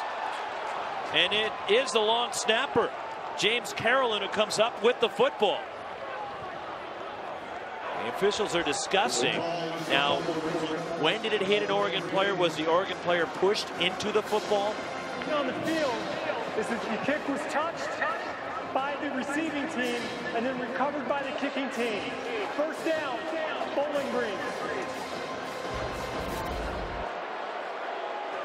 Initially, as Carolyn was covering it, a little fancy footwork to avoid the ball. It doesn't touch him first because if it would have hit Bowling hit, Green initially. It hit Jevon Holland. Carolyn jumps on the football and Bowling Green at the Oregon 43. Trying to get some momentum back. Jarret Doege toward the sideline. And out of bounds is RB3. That's what they call it. Arby Marlowe, the third. First down, Bowling Green at the 31. Pickup of 12. I think they need to find some more ways to get the ball to Andrew Clair. He hasn't touched it as much lately, aside from just being a ball carrier. He can catch it out of the backfield. Here he is. Picks his way inside the 30, down to about the 28. Jelks and Faoliu on the tackle. Bowling Green, it is their 100th season of football. And what is Bowling Green State University, yet they're known as Bowling Green, but not Bowling Green State. BGSU, as I like yes. to call them. Empty backfield for Doege. Inside, a minute to go in the half. Bowling Green needs six. And it's Scott Miller out of bounds at the 20. It was a nice pass from Doege. Some good anticipation. Had to throw it a long ways as well to get it outside the numbers to Miller. No need to rush. Bowling Green wants to be the last team to possess the football in this half while putting points on the board if they can. Eight catches now for Scott Miller. 51 and a half seconds to go first half. Doege keeps. Miller another reception. And jukes his way inside the 15 out of bounds. Pushed out by Holland. Nine grabs for Scott Miller now. An effective read from Doege. Saw the defender creeping in off the edge. Just allowed to ride the mesh point on that RPO fake. Clock stop 44 seconds at the 13. Doege for the end zone, and it's incomplete. Tried to get it to Derek Pudebaum. The six foot five receiver is locked up with Deommodore Lenoir. Was voted the number one athlete in the nation as he came out of high school a couple of years ago. Not the longest corner, but big and physical enough. Bowling Green has missed on their last five third down attempts after hitting on three of their first four. Play clock inside 10.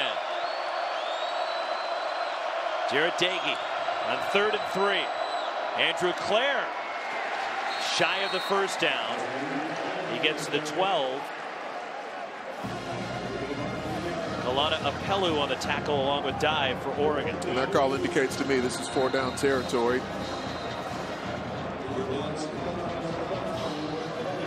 And a timeout for Bowling Green with 23 seconds left in a half, and it's fourth and two. So Bowling Green in Bowling Green, Ohio, out of the MAC. Some of the notable alumni, Orel Hershiser. And great Nate Thurmond, one of the best centers in NBA history. Ric Ocasek is a Bowling Green Falcon. The Cars. Hershiser defeated your A's, right? It's was, week was one, it, man. Was it the 88 World Series? Yeah, it was. Okay. Yeah. Make sure I got my facts straight. Not that it still hurts.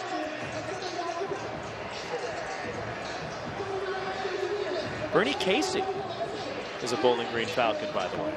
Huh. Yeah. But you can see why Mike Jinks is very excited, especially about some of the young talent that he has on the offensive side. They got some guys who can play. They come up with on fourth down. Fourth and two. Marlowe in motion. Doege on the move. Scott Miller, the catch, pushed back, should have the first down. Jevon Holland with the tackle. And it's first and goal, Bowling Green at the nine. Quickly on the ball. Doege may spike this, and he does to stop the clock with 15 seconds left in the half. They've been using a lot of pocket movement on this drive with Doege. They got to a point where Oregon was just starting to tee off on him constantly being in that same location behind the center. Getting into more of the sprints and the run pass options so he can move the launch point on his own in a predetermined sort of manner.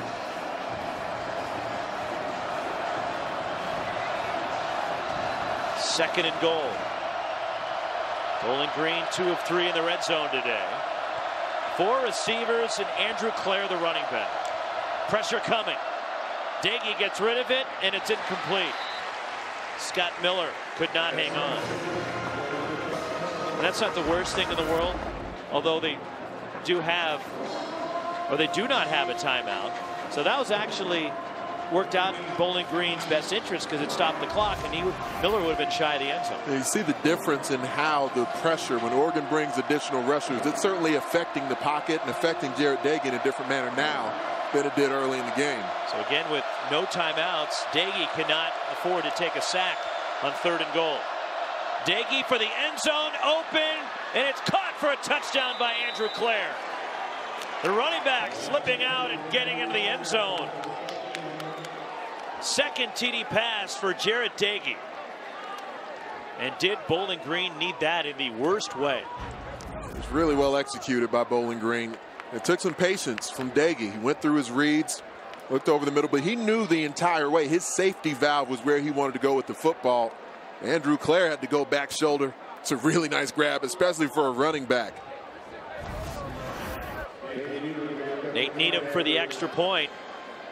10 plays, 43 yards for Bowling Green to find the end zone.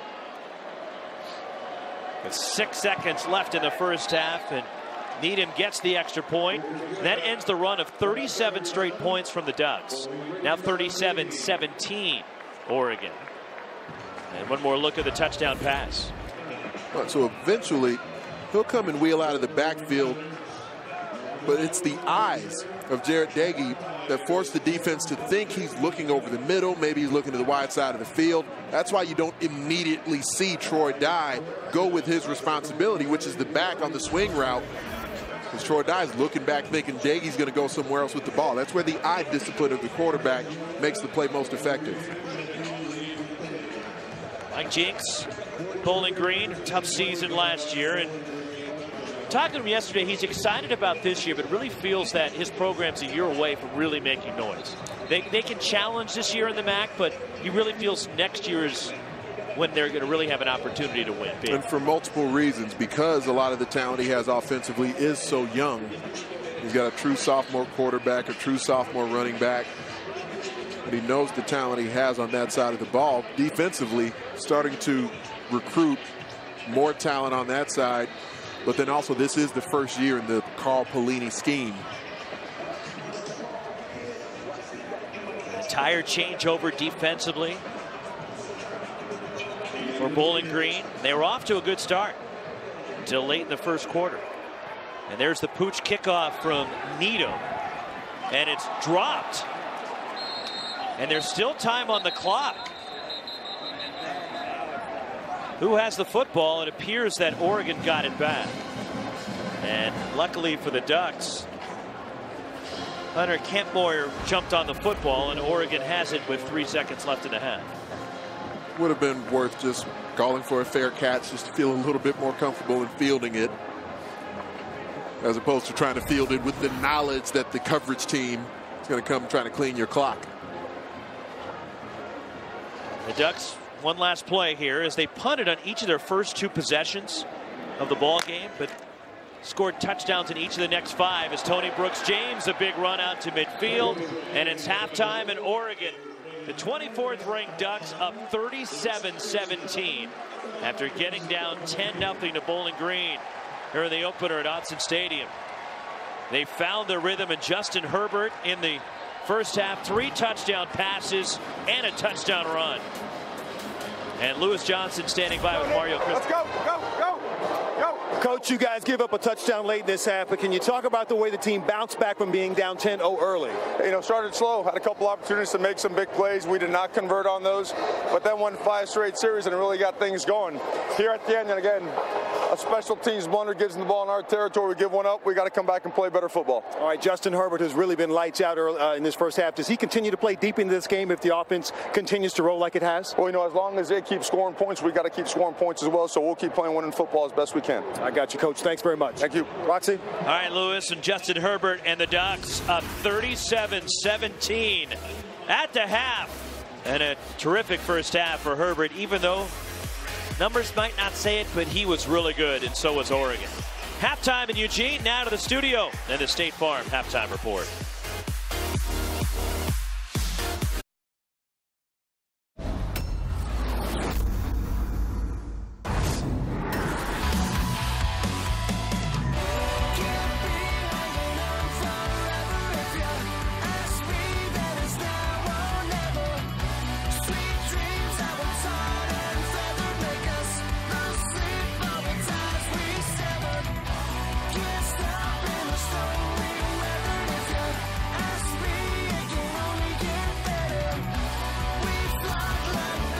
For the start of the second half. Kickoff week presented by Opus Bank. Number 24, Oregon, leading Bowling Green. 37-17, along with Anthony Herron and Lewis Johnson. Roxy Bernstein with you. Moments ago, Lewis caught up with Mike Jinks, head coach of Bowling Green. Your halftime. Well, Coach, let's talk offense first. You had some nice momentum early in the game, late in the second quarter. How do you recapture that now? Well, we got to go back to the basics, and we got to continue to run the football. And, and because those tackles, those defensive ends are giving us fits. One on one, we're having a little trouble, and the best way to slow those guys is to continue to run the ball at them. So uh, we'll continue to do that. We'll commit to the run, and we'll continue. The kids doing a good job of getting the quick game off. We'll stick with all that as well.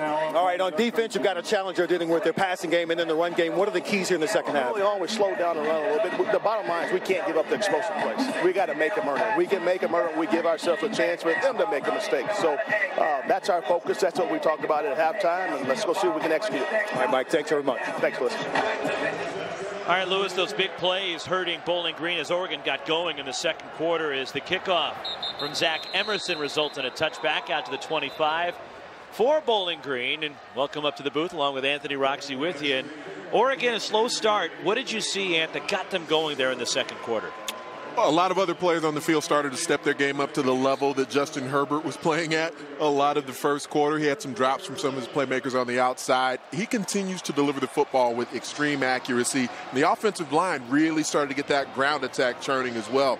Right now, 131 rushing yards for Oregon's offense. That's really what drives them overall is the ability to rush the football and then the passing lanes open up from there. Oregon's offense, first two drives, nine yards. The next five, all resulting in touchdowns, 250 yards. As that play, the handoff to Andrew Clair, and not much there. Jordan Scott was wearing that club now on his right hand with the tackle. Those are no fun because you, you want as a defensive lineman to be able to utilize your hands, your fingers to get your hands inside on an offensive lineman. And when you extend to jack the leverage up of the blocker, you likely are trying to grasp that breastplate somewhere. And you can't do that when you have your hand wrapped in a Q-tip. Second down 11. And it's the draw for Andrew Clair, And Oregon swallows him up. Right into the line. Jalen Jelks, Jordan Scott get up from the pile. And it's third and long for Bowling Green. Jarret Doege in the first half, 15 of 23, 125 yards and a couple of touchdowns. 10 catches for Scott Miller in the first half. And on third down, you would think that's who Doege will be looking for. He's in the slot. And the pass, and it's picked off by Amadi. Ugochukwu Amadi cuts it back. Touchdown, Oregon. Sixth career interception for Amadi, the senior from Nashville. And the pick six. And it's 43-17 awaiting the extra point. The Ducks saw this coming the whole way. Troy Dye was right there in the passing lane, and the ball sails over the head of the intended wide receiver. Ugo Ugochukwu knows what to do with it after he catches the ball. Gets those legs a churning like a choo-choo train. Has a convoy leading him to the paint.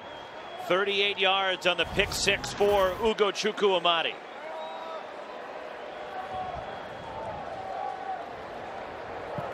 And Zach Emerson nails another one.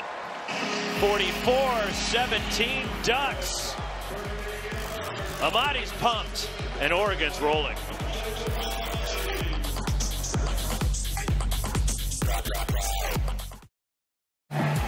Kickoff week for the Pac-12. It doesn't get any better. Intercepted again. Pick six for the Bears. Gardner Minshew is dealing.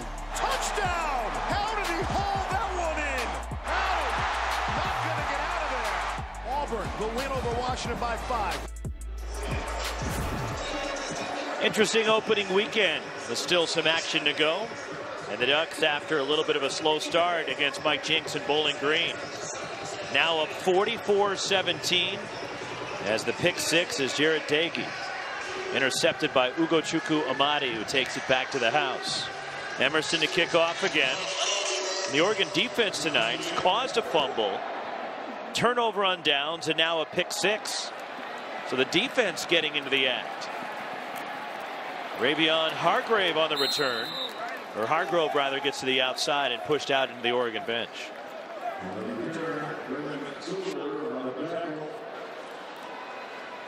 The defense for the for the Ducks is to take the field again here.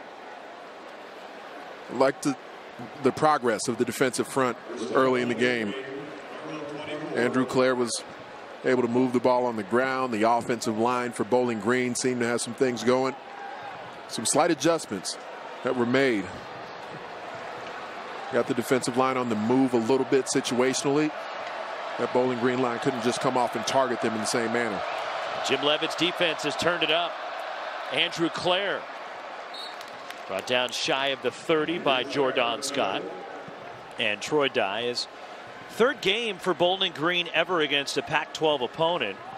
0-2 coming into tonight. They lost to Washington back in 1986. And then the next year they played Arizona, losing to the Wildcats.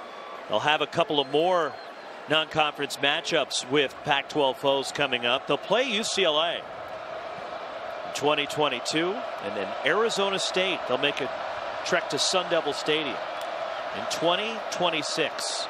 Doege off the play action. It's complete to the outside to Quintin Morris.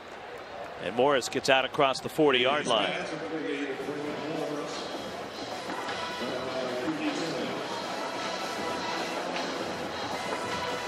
14 yards and a first down for the Falcons. Doege, the sophomore, made five starts as a true freshman last year.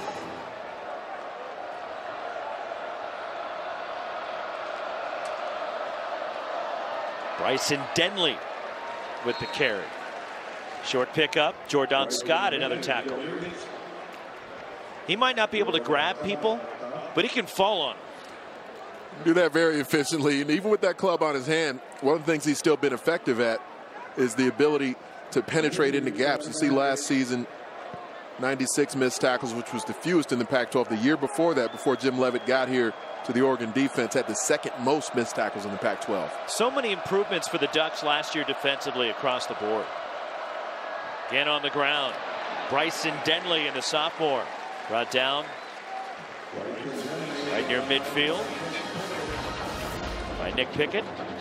The hallmark of any great defense is how many hats you get to the football. You see here in frame all the yellow jerseys that continue to pursue. Some of the drills you tend to do in practice is you know, things you'll call tap the hat, where you want to make sure you're getting all the bodies you can into the frame when you're evaluating the film to see how your defense pursues. Denley stays in at running back. Dorian Hendricks coming in as a fullback as Doege barking out the signals here. Play clock inside five.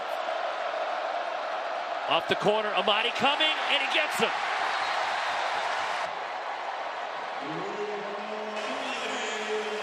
Ugochukwu Amadi, a sack for a loss of eight.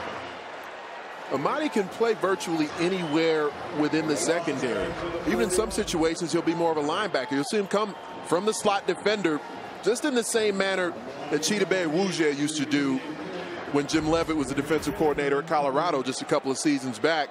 He's got a similar frame and a similar game. Third sack for the Oregon defense. Amadi now back to return, standing at his 15. Grant Tinnerman with the punt. Decent punt this time. It takes a Bowling Green bounce. And it goes inside the 15. So Justin Herbert, he's coming back. As the Oregon quarterback is having a big night. Will look to keep it going. The Ducks in command early in the third.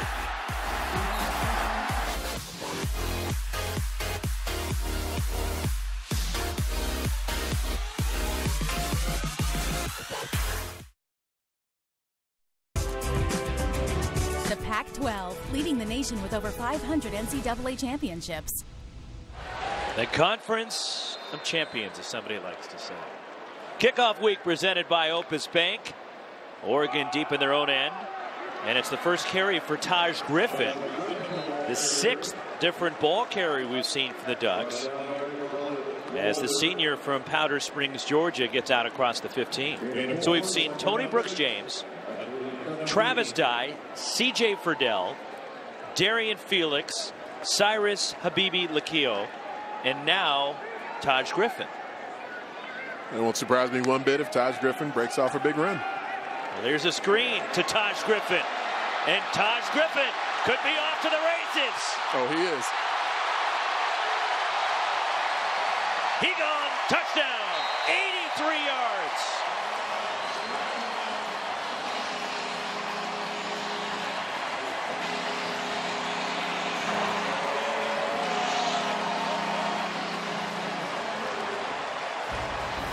Late in the high school career, early in the collegiate career of Taj Griffin, suffered a lot of injuries. But he has always had speed to burn. You give him a lane, and that similar refrain to DeAnthony Thomas, he's gone.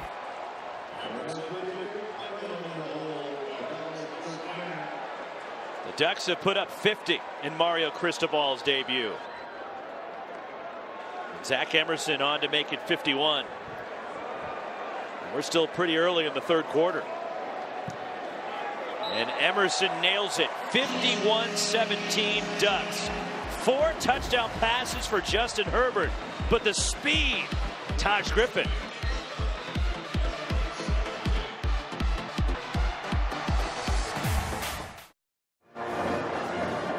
Fifty-one seventeen. Justin Herbert dumps it off, and Taj Griffin does the rest. About time one of these playmakers helped Justin Herbert's numbers tonight. Four touchdown passes and a touchdown run. The easiest pass completion he had all day ended up being the longest one.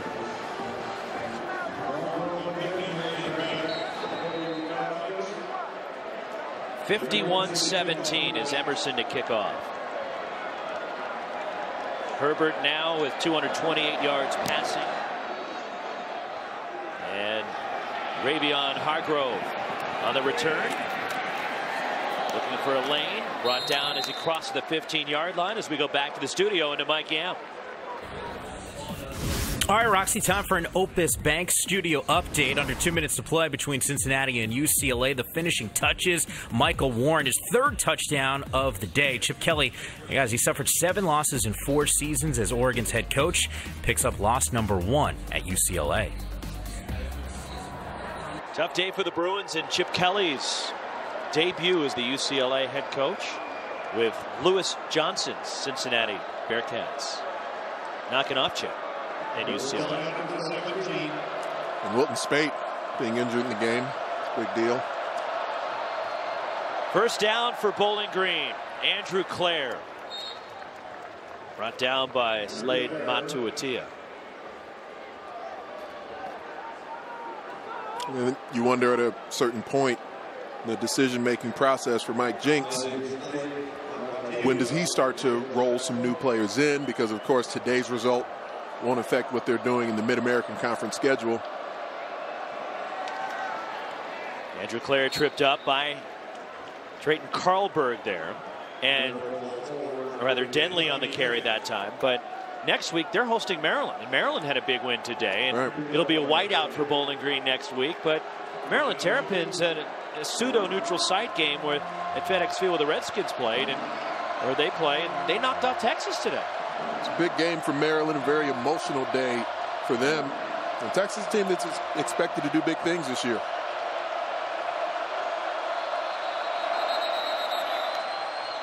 Timeout Bowling Green. Timeout Bowling Green.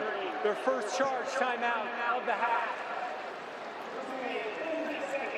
Coming up for Oregon, you and I and Lewis will be back here next week as the Ducks will take on Portland State, who has struggled at the FCS level. And then a couple of weeks, Brent Brennan will bring the San Jose State Spartans north up to the Willamette Valley from the Bay Area. And tough loss for them in their opener in a shootout against UC Davis. And Dan Hawkins on Thursday night, Montel Aaron, quarterback, put up decent numbers for San Jose State. Both those games will be on Pac-12 Network. And look, and we've heard the criticism of Oregon's non-conference schedule with Bowling Green, a team that won two games last year, Portland State next week, and then San Jose State. And this was not supposed to be the case. Texas A&M originally was on the schedule this year and Texas A&M backed out of an agreement. Now they had a clause in there which allowed them to do so. As on third down, Bowling Green is able to get just enough to move the sticks in a first down. But there was a clause in the contract with Texas A&M that the Aggies could get out of the deal if they switched conferences. So they were able to get out of the deal when they left the Big 12 and joined the SEC, which left Oregon with a huge void to fill. It was a decent sized check that had to be cut as well. But when you look at trying to reform a non-conference slate that close to the, the start of the season when it was the decision was actually made, then it's very difficult to get another top flight opponent. We know Oregon in their non-conference is known for playing nationally ranked foes. Jordan Scott was getting looked at. Went off the field as Bryson Denley, the ball carrier, to the 30-yard line. And speaking of the non-conference opponents, and, and, Rob Mullens talked about this with Lewis earlier, the non-conference slate, which they're scheduling into the future as far out as 2030 with a home and home with Michigan State. They just finished a home and home with Michigan State recently. But Baylor, Texas Tech, they're going to play the neutral site game against Georgia, which I, I, it's not a neutral site, right? It's it never is. from Athens. It never is with the SEC. Even uh, facing State? Auburn next year in Arlington, Texas, it's not as close as Auburn going to Atlanta like they did today with Washington. Auburn will actually have to get on an airplane, unlike hopping on a bus and going 90 minutes. Doege fires to the sideline, coming back. It's caught, first down. Quintin Morris for Bowling Green out across the 40.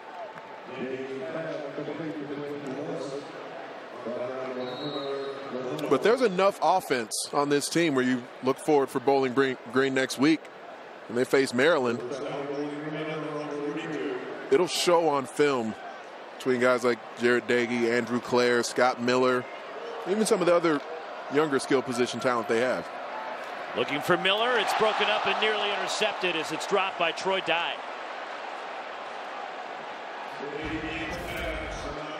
Just seeing the all-around game. Look at the depth that Troy Dye ends up getting. I mean, unfortunately on this particular snap he has hands like feet, but before that moment, coverage was stellar.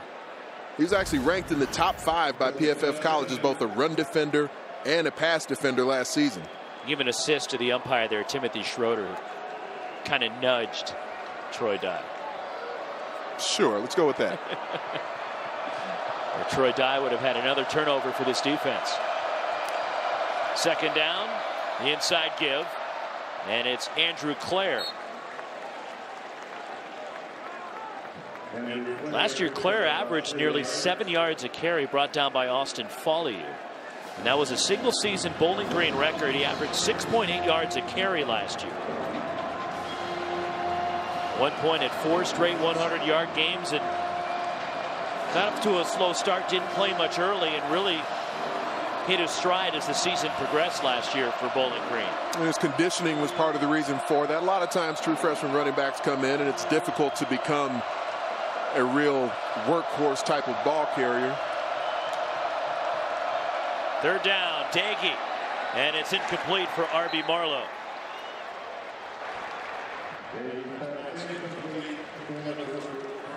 There are various ways you can defend the pass.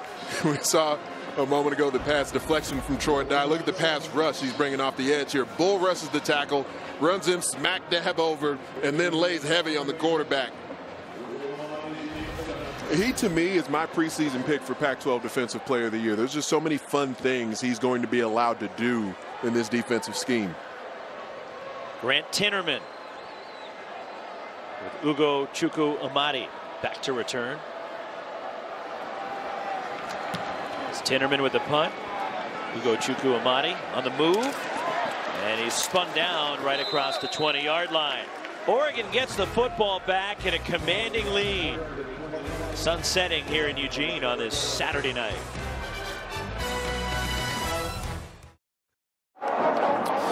And we are back live in Eugene, and sometimes the story says it's just in your blood and it's just meant to be.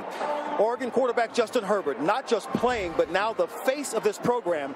And it's like the people in his life groomed him from birth for these moments. Christmas 1998, there he is, nine month old Herbert in the hands of Len Casanova, the iconic head coach here at Oregon from 1951 to 66, later the athletic director, and a man revered by anyone who loves Oregon football. One of Justin's grandfathers, Rich Schwab, a wide receiver at Oregon from 1960 to 63. And then the other, Roger Herbert, there they are, both instilled the passion for Oregon football from birth, according to Holly Herbert, Justin's mom. And from the seats in Section 12 here in Autzen Stadium, that's exactly where the family has held season tickets for many years. It's where the Herbert brothers grew up watching the Ducks, and now it's Justin meeting his destiny down here on the field. Quite an amazing story, guys. Herbert on second down. All right, Lewis. Pass incomplete, trying to get it out to Kano Dillon. Actually, Herbert on the sideline now as Braxton Burmeister is taking over at quarterback, but an impressive season opener for Justin Herbert tonight. It certainly was. I mean, he's got a receiver core that had the fourth highest drop percentage in the Pac 12 last year. So he's dealt with that before and some of the drops that happened early in the game, but his demeanor allows his teammates to not be too frazzled by that. Herbert averaged 28 and a half yards of completion tonight as that pass out to Dillon Mitchell for an Oregon first down. And half of his completions went for touchdowns tonight. I was struck by the story that Mario Cristobal was telling us yesterday just about how Justin's demeanor is becoming a, a bit more forceful. You know, not, maybe not necessarily fiery, but more of a forceful guy. There was a practice during training camp this year. And for whatever reason, it just, the offense couldn't get humming. It was a big day for the defense. And then the following evening, the players got together and called a players only meeting. And by the time they came out of that meeting, he was struck by the fact that so many players came out of the locker room. And they just, you know, certain comments to the coaches said that Justin Herbert was the lead voice that really got them rallied. Braxton Burmeister's pass incomplete for Johnny Johnson. And from a result standpoint, next practice they had, everyone was humming. Everyone was churning. They had a different level of energy and focus to them after they got a talking to from their quarterback. Nearly intercepted there by Clint Stevens. So Burmeister, the sophomore from La Jolla. Initially, the plan was last year to redshirt him. But with the injury to Herbert, as Burmeister incomplete out for Kano Dillon. And Oregon was forced to take the red shirt off with the struggles at quarterback in the absence of Herbert. And Burmeister tried to hold it down, but it was a lot to put on the plate of a true freshman last year. Yeah, I mean, the year before that, Justin Herbert had become the first true freshman starting quarterback at Oregon since 1983. Then the very next year, Braxton Burmeister becomes the next true freshman quarterback to start at Oregon since 2016. It's Justin Herbert. Blake Maimone will punt. Just the third punt tonight. His first since early in this football game. Marcus Milton back to return. Low line drive from Maimone and Milton sidesteps versus field. Trying to turn the corner and then helping him out of bounds was Brenden Schooler. Time for our 76 fueled moment presented by 76. It was initially fueled by a clean pocket. Great pass protection from the offensive line. And watch Justin Herbert go to work. He's releasing the ball. The receiver isn't even open yet. Then Jaylon Redd separates from the defense. Quarterback incomplete. Kismet with wide receiver. That's a big time throw. And PFF College had Herbert rated as the number one quarterback in the nation with big time throws from a clean pocket. There are the differences with and without Justin Herbert. Average nearly 50 points a game in the opening month, 40 points through November. Would struggle without him in October. From the 19 for Bowling Green, Bryson Denley, the ball carrier. Isaac Slade-Matautia with the tackle.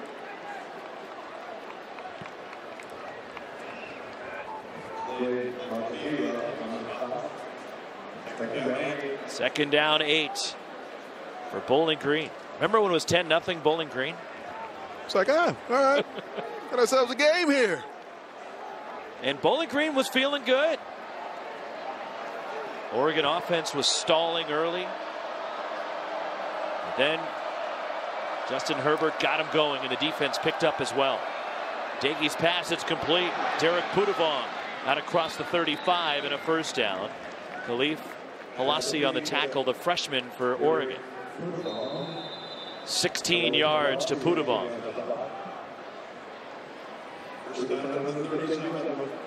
Mike Jinks was telling us throughout fall camp that Putavong was probably the most improved player, definitely the most improved receiver that Bowling Green had.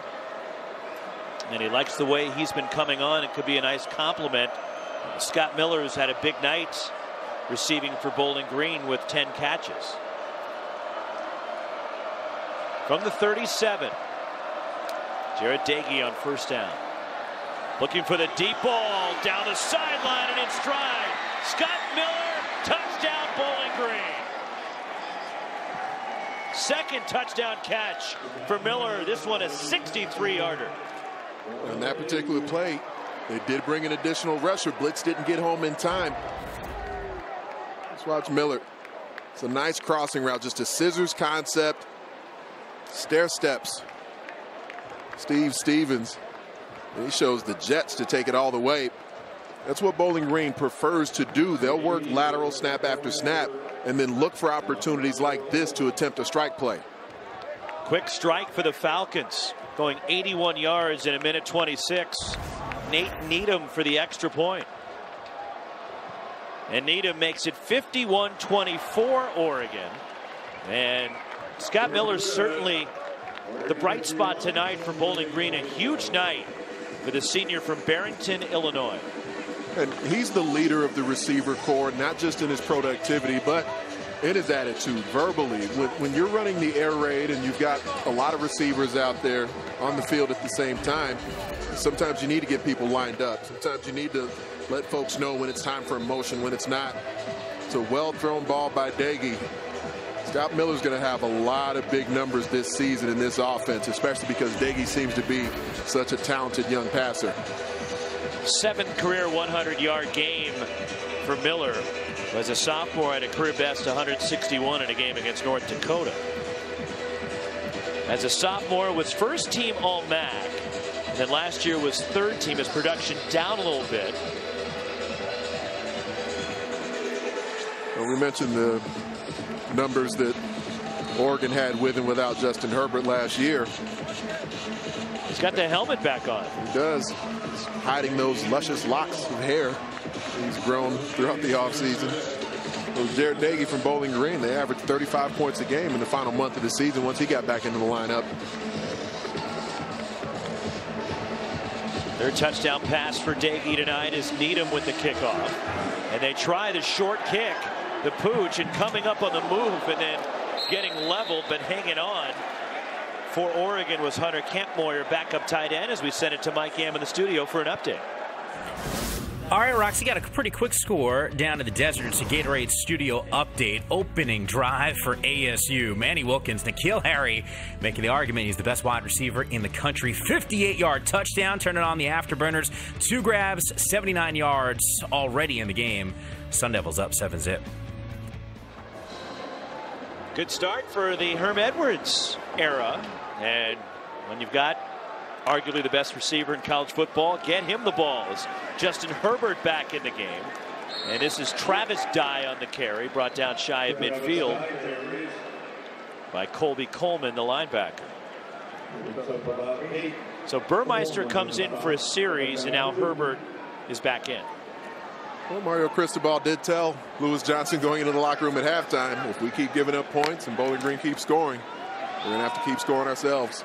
Travis Dye gets the first down into Bowling Green territory. Josh Crosland with the tackle, along with Jonah Harper. It is interesting he didn't give Burmeister perhaps consecutive series. Pistol look and the play action for Herbert. Throwing. And there's a flag down on the play, and Mitchell was the intended target, broken up by Fred Garth, the senior safety. But we'll check the flag as Dillon Mitchell turned the other way. Holding defense number four. 10 yard penalty, automatic first down.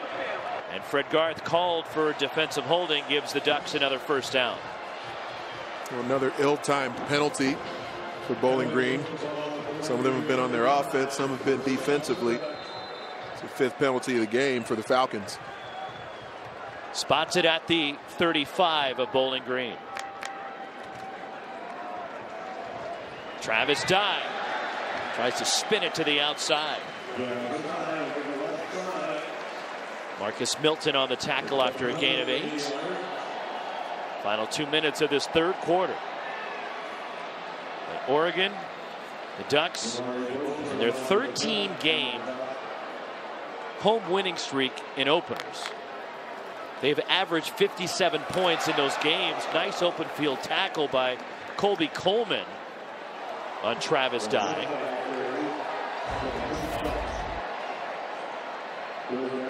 Ends up triggering into the backfield. Just a great form tackle. Nice wrap up. Third and short. One more time for Dye. This time it results in a first down. Josh Crosland, another tackle for Bowling Green. But there's the record in their last home non-conference games back to 2004. And there's Penei Sewell at left tackle. That's the true freshman. We referenced him earlier as one of the top recruits in the nation. Loss of one this time for Dye. Brandon Harris on the tackle. And there were a lot of evaluators who thought maybe Penei Sewell would end up moving because of his size and his girth moving from tackle, which he played in high school, and bumping inside the guard. And Mario Cristobal told us, you know, maybe it crossed our mind because of what some other folks said, but I viewed him, being Mario Cristobal, as a tackle pretty much the whole way. Play action for Herbert. And it's Jacob Breeland with a catch, and he's pushed out of bounds inside the 20. And he's got a lot of experience on that offensive line to lean on. When you look at, okay, Shane Lemieux's on his right as the left guard. He's started all 26 games now of his Oregon career, the junior. Jake Hanson has started all 26 games of his career, the junior center. Dallas Warmack, the new right guard, a grad transfer from Alabama, who has two years to play here at Oregon. And then Calvin Throckmorton, who's at right tackle, is probably the most versatile lineman. But like Lemieux and Hanson, he started all 26 games of his Oregon career as Redd drops a touchdown.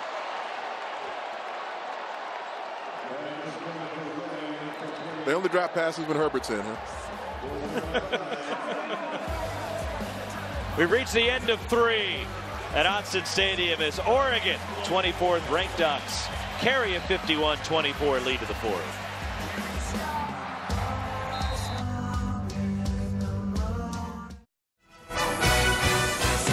Kickoff week is presented by Opus Bank, the official bank of the Pac-12 Conference. 76, we're on the driver's side. And by Ice Cold Dr. Pepper, the official drink of Fansville. Beautiful Saturday evening of the Willamette Valley. 51-24, number 24 Oregon leads. Bowling Green. Look at that sunset. Just spectacular.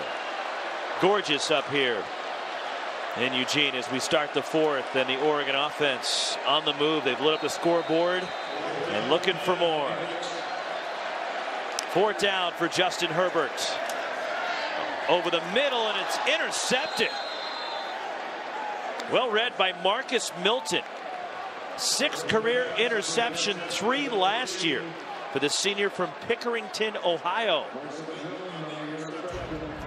Well, it was great coverage by Milton. He engages with the receiver, and then there's just no in cut from Jaylon Redd off the route.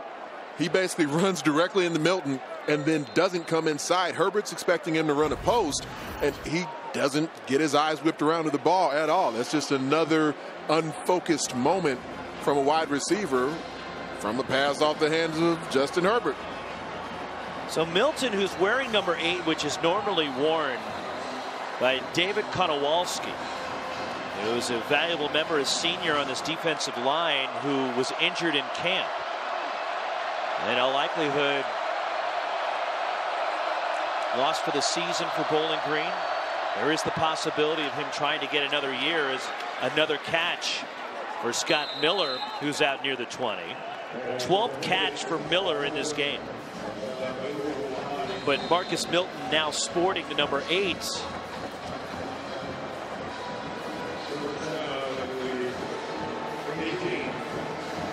Honoring his teammate.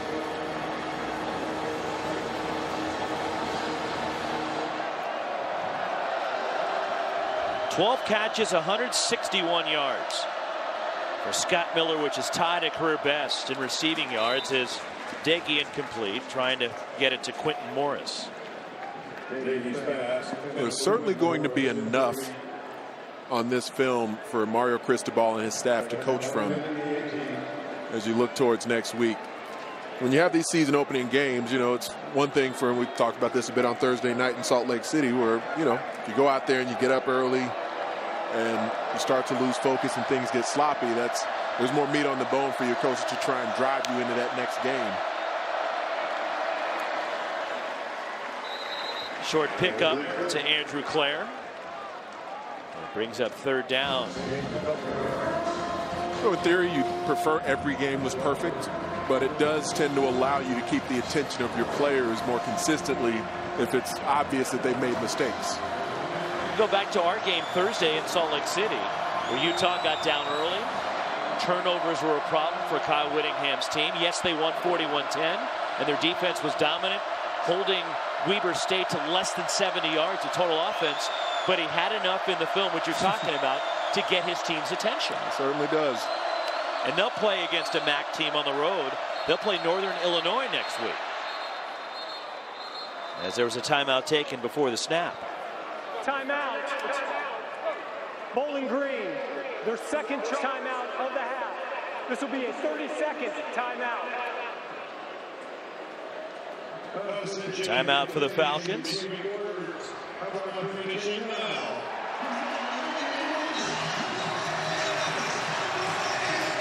So here is the Oregon schedule, which we alluded to. Portland State, San Jose State, both on Pac-12 Network coming up the next couple of weeks.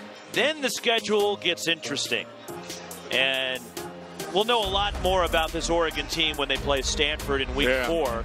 As Stanford had a good win over San Diego State last night, despite Bryce Love being bottled up. Right. They started slow. But then you got Cal on the road, your first road game, and Justin Wilcox, the former Duck. And the Golden Bears had a nice win at home. A terrific defensive performance against North Carolina in Berkeley today. Then you've got, after a bye week, a huge matchup with Washington right here. The schedule will certainly just get tougher and tougher. I think uh, at least the first few weeks of the month of September, there won't be too much for Ducks fans to worry about. On third down, Doege. And a big hit on Miller, who hangs on after Matrell McGraw buried him around the 25-yard line. And Miller will slow walk into the sideline after his 13th catch and a new career high in receiving yards. And McGraw had a beat on this one the entire way, and Scott Miller did a phenomenal job holding on to this one because he took a thump from McGraw. Oh, yeah. Pads popping on the opening night. Amadi back to return again for Oregon as Tinnerman will punt. Ugochukwu Amadi lets it bounce. Sideways and it goes out of bounds. And Oregon with the football. 12.48 to play. The Ducks 51. Bowling Green 24.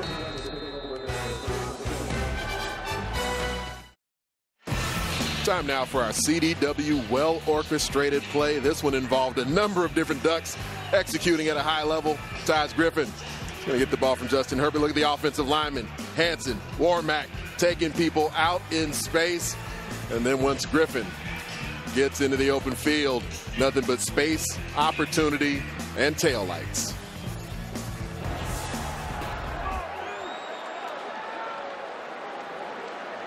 Justin Herbert in the Oregon offense. Back on the field at their own 32-yard line. 12.48 to play. Along with Anthony Herron and Lewis Johnson, Roxy Bernstein with you, our Pac-12 Network crew on this opening weekend of college football at Autzen Stadium. Number 24 Oregon and Bowling Green. Second down for the Ducks. Herbert has thrown four touchdowns tonight. He's run in another. Left the game briefly, then came back as Braxton Burmeister got a series. CJ Verdell, and he's hit behind the line and a tackle for loss. Kyle Jr., nice play. I must say, things certainly have been, even though there's only one penalty in the game, Oregon hasn't had a penalty since midway through the first quarter. But just from an execution standpoint, it hasn't been clean. It, it's it's been sloppy at times from an execution basis offensively. How much do you chalk that up to being the opening game? As Herbert incomplete, trying to get that one out to Dillon Mitchell. My impression would be that there's multiple reasons for it. The opening game is definitely a part of it because you tend to see that just a lot in college football. When there's a, a team who has their opponent overmatched, they start a little bit slow. But even once Oregon began to build some momentum and they started to make some more plays befitting of what you expect from this offense, it was still inconsistent. They sort of plateaued and now things have leveled off again. Tom Snee getting a chance to punt now for the Ducks. Just over 12 minutes to play. Bowling Green will get the ball back. And Snee with a nice punt. Fair catch called for. And Marcus Milton gets hit, and there is a flag. Hockey Woods Jr., the senior from Chicago. Former JC All-American, spent two years at Indiana State. Well, it was certainly a fair catch signal. He started to throttle down. Kicking team, number 12. 15 yard penalty, automatic first down. So free 15 for Bowling Green. Oregon, a little sloppy play, but still a big over the Falcons. 51-24, number 24 Oregon leading Bowling Green. Exactly 12 minutes to go here at Autzen Stadium as the Falcons have the ball at the 40-yard line after the personal foul call and the kick catch interference on Hockey Woods. Jarret Doege, who's thrown three touchdowns tonight, the sophomore. Under pressure, racing away from Hollins, but goes down. Doege did get rid of it, but again, there's Justin Hollins creating havoc in the backfield. I mean, nobody likes a bully, but you're still out here playing football. Their starters are on the field, your starters are on the field. You have them in a scenario where you know they're going to continue to throw the football. That's just their offensive philosophy for the most part anyway. So moments like that from Justin Hollins, Jalen Jelks, you need to continue to impose your will and close the door on this opponent. Second down 10. Andrew Clair. Some shifty maneuvering to the outside. And Clair, a nice run, gets shoved out of bounds in Oregon territory as there is an injured Oregon player that's down on the play. That's Jalen Jelks, who is slow to get up, is up and walking off the field. 17 yards for Clair. It's a nice cutback. The vision's there. This is a really talented running back. I agree with Mike Jinks. He described him as a Power 5 talent. He was right. And Jinks thinks he's a guy that will play on Sundays when his playing career is done at Bowling Green. He certainly got the skill for it. Doege over the middle looking for Miller. It's incomplete. There is Jalen Jelks who did walk off the field is getting attended to.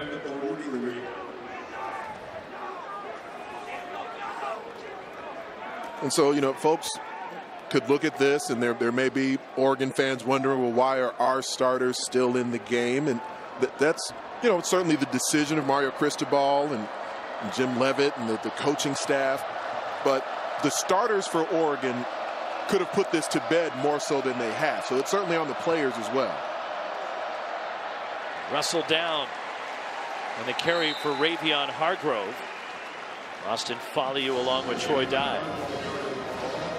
And moments like this, I mean, the, the reps are important that they're getting right now just from a fundamental standpoint. You want to, you know, try and make sure you're you're learning to play the game consistently at a proper level physically. But the intangible part of it, that, that extra heartbeat that you want to play with in every big moment, getting consistency there is why these moments are important also. Jelks, Jordan Scott, Hollins, Dye, at least eight tackles apiece tonight. So the playmakers have been active for Oregon defensively. Doege to the outside, and it's caught. Jordan Wayne Prather. JC transfer from Antelope Valley Junior College in Southern California. Brings up fourth down for Bowling Green at the 40-yard line. And so just putting my coaching hat on, you know, I'm I'm in the mind frame of where I'm sure Mario Cristobal and his staff will be as they get into the week of preparation for Portland State. They're going to win this game by decision, but that knockout blow was possible multiple times, and they haven't landed it. Empty backfield for Doege. Looking for the deep ball, and it's well overthrown. Trying to get it to Derek Putavong. And a turnover on downs by Bowling Green with 9.56 remaining. And we'll see how Oregon plays this offensively here up 51-24. Well, so far, what have you seen from Oregon in this one? I've seen a lot of skill, and you know, we talked about the demeanor of Justin Herbert and some of the growth that's been there. Even without a fiery speech or, or yelling or doing anything rah-rah, I've, I've seen intensity and focus from Justin Herbert throughout the night. I've seen that inconsistently from his teammates, though, especially the skill position guys on the outside, needing to catch the ball more cleanly, finish routes later in this game. Herbert throwing, it's tipped, and it's intercepted. Fred Garth with the pick for Bowling Green. Second career interception and the second interception for Bowling Green of another, Herbert. Another look at it here, partner. But uh, to me, I, in live action, this looks like another route that maybe wasn't finished as well by Jaylon Redd. Well, and, and that one, upon further review, the last route that led to an interception, that one certainly wasn't finished as well by Redd. This one, defender probably tugged at his shoulder a little bit and then made a deflection coming back shoulder on him. Herbert just 9 of 20 with those four touchdown passes, but two interceptions. From the 45. Andrew Clair. And not much running room. Drayton Carlberg closing in, along with Kaulana Apelu. But you know what it was like in this stadium? You know, regardless of who the opponent was, once the Ducks got rolling, once that tempo had that Autobahn pace to it and they were putting points on the board, they had a way of stepping on people's necks where the starters had no reason at all to still be on the field at this point. And so those are the types of lessons that you're going to want your players to learn from a night like tonight. Jarret Doege under pressure and just throws it away and it's intercepted. He tried to throw it away. And what a play on the sideline by Troy Dye. Doege thought he had enough on it just to chuck it into the sideline, but Troy Dye said, no, I got this. The redemption song of Troy Dye. Hands like feet earlier this half. Hands like Swann here. And he dragged that second foot oh, just yeah. in case. Watch him work. Extends away from the body. Nice soft mitts. High points of the bit. Soft little toe tap. Oregon gets the football right back. Felix. First down Ducks inside the 40. Clint Stevens brought down Darrian Felix. Here's the play differential, and you don't normally see this. Right.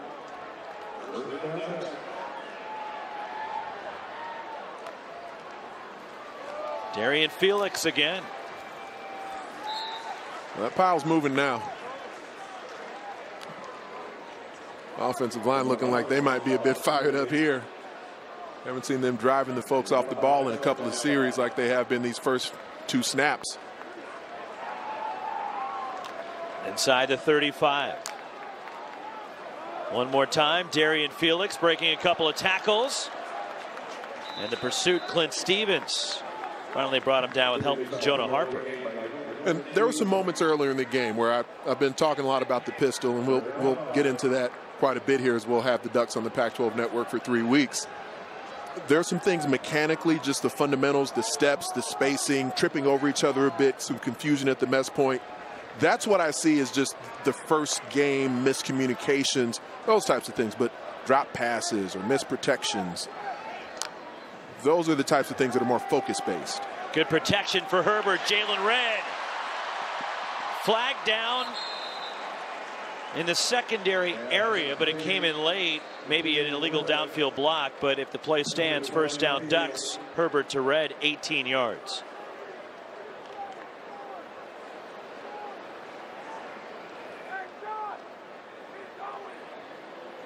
Pass interference. Offense, number 27. 15-yard penalty. Replay, third down. Jacob Breeland, the tight end, called for offensive pass interference. Well, one of the things that they tend to look for is if you're going to run a crossing route, are you actually declaring yourself as a wide receiver when it happens? And they felt that Jacob Breeland, as the inside receiver, once he went inside, didn't necessarily declare himself as a receiver, just appeared to go in and sort of block on the linebacker more, which ended up opening up the crossing route for Redd. Third down, back near midfield. Third and 20 for Justin Herbert. Keeps his eyes downfield. He's got a man in the end zone. Touchdown, Oregon, Jaylon Redd. got behind the defense.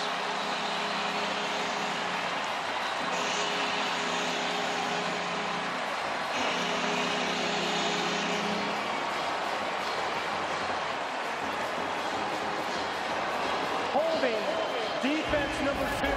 That penalty is declined. The result of the play is a touchdown. Understandably, not the most exuberant of celebrations afterwards in a half that hasn't gone as Oregon completely would have hoped. Largely because of their own doing. But when they do it well, when they execute at a high level, these plays are a thing of beauty. 48 yards on the touchdown pass to Redd. The second time Herbert and Redd have hooked up on a score. And that's five touchdown passes for Justin Herbert tonight.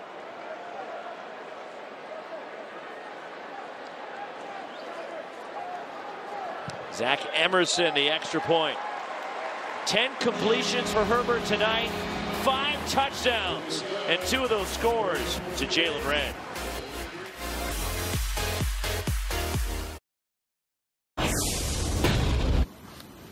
I know what you're thinking. You're thinking, did Coach Feld bring anything other than a purple and a black band to do guns?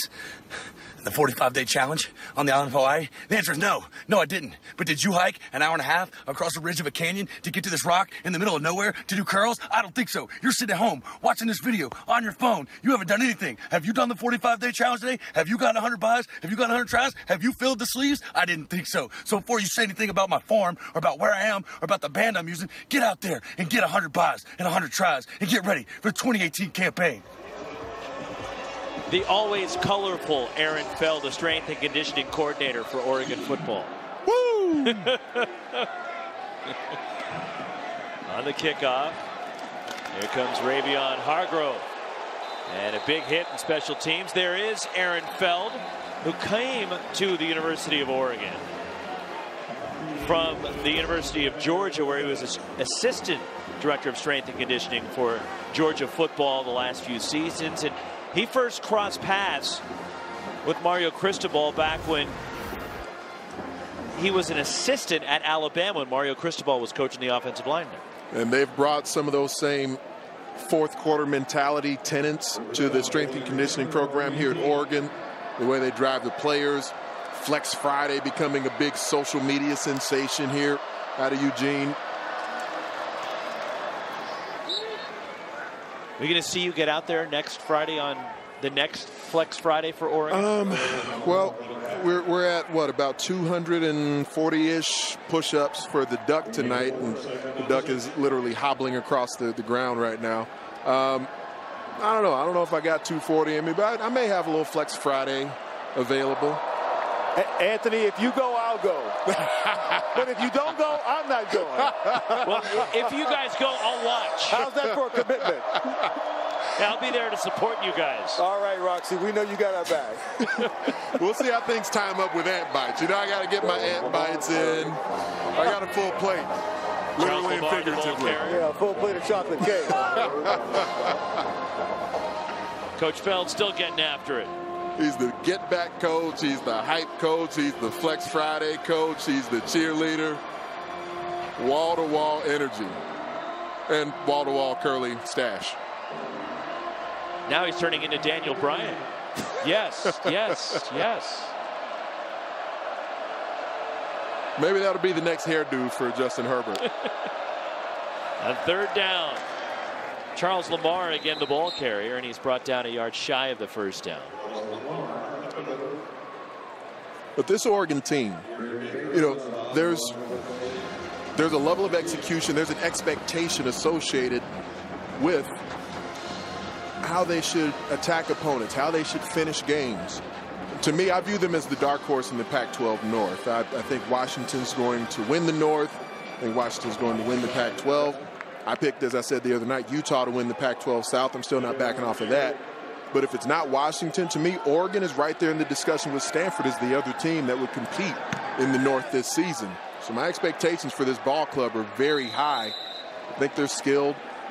Jim Leavitt was raving about the young defensive linemen and the way that they've come along. Some guys who hadn't played as much the last couple of years who've taken big steps forward. Shank from Grant Tinnerman. And Oregon gets the football back. And The head coaches at Oregon. You know, Rich Brooks and Mike Bellotti combined from 1977 through 2008 as the head coaches. Then the Chip Kelly era. But since Chip, Mark Helfrich for four years, Willie Taggart for one, leaving for Florida State. And now Mario Cristobal takes over. So a program that had so much stability with Rich Brooks and then with Mike Bellotti. And the last 10 years it's been quite different for the Oregon football staff. And it's really intriguing when you think about the reasons why, because of course Chip Kelly helped bring the program to national acclaim and to higher heights than folks have seen Oregon get to in a while. And so the expectation, that new bar has been set and maintained by the administration around here, which was a big part of the reason they moved on from Mark Helfrich, who's now the offensive coordinator with the Chicago Bears. Braxton Burmeister re-enters at quarterback and Darrian Felix the ball carrier.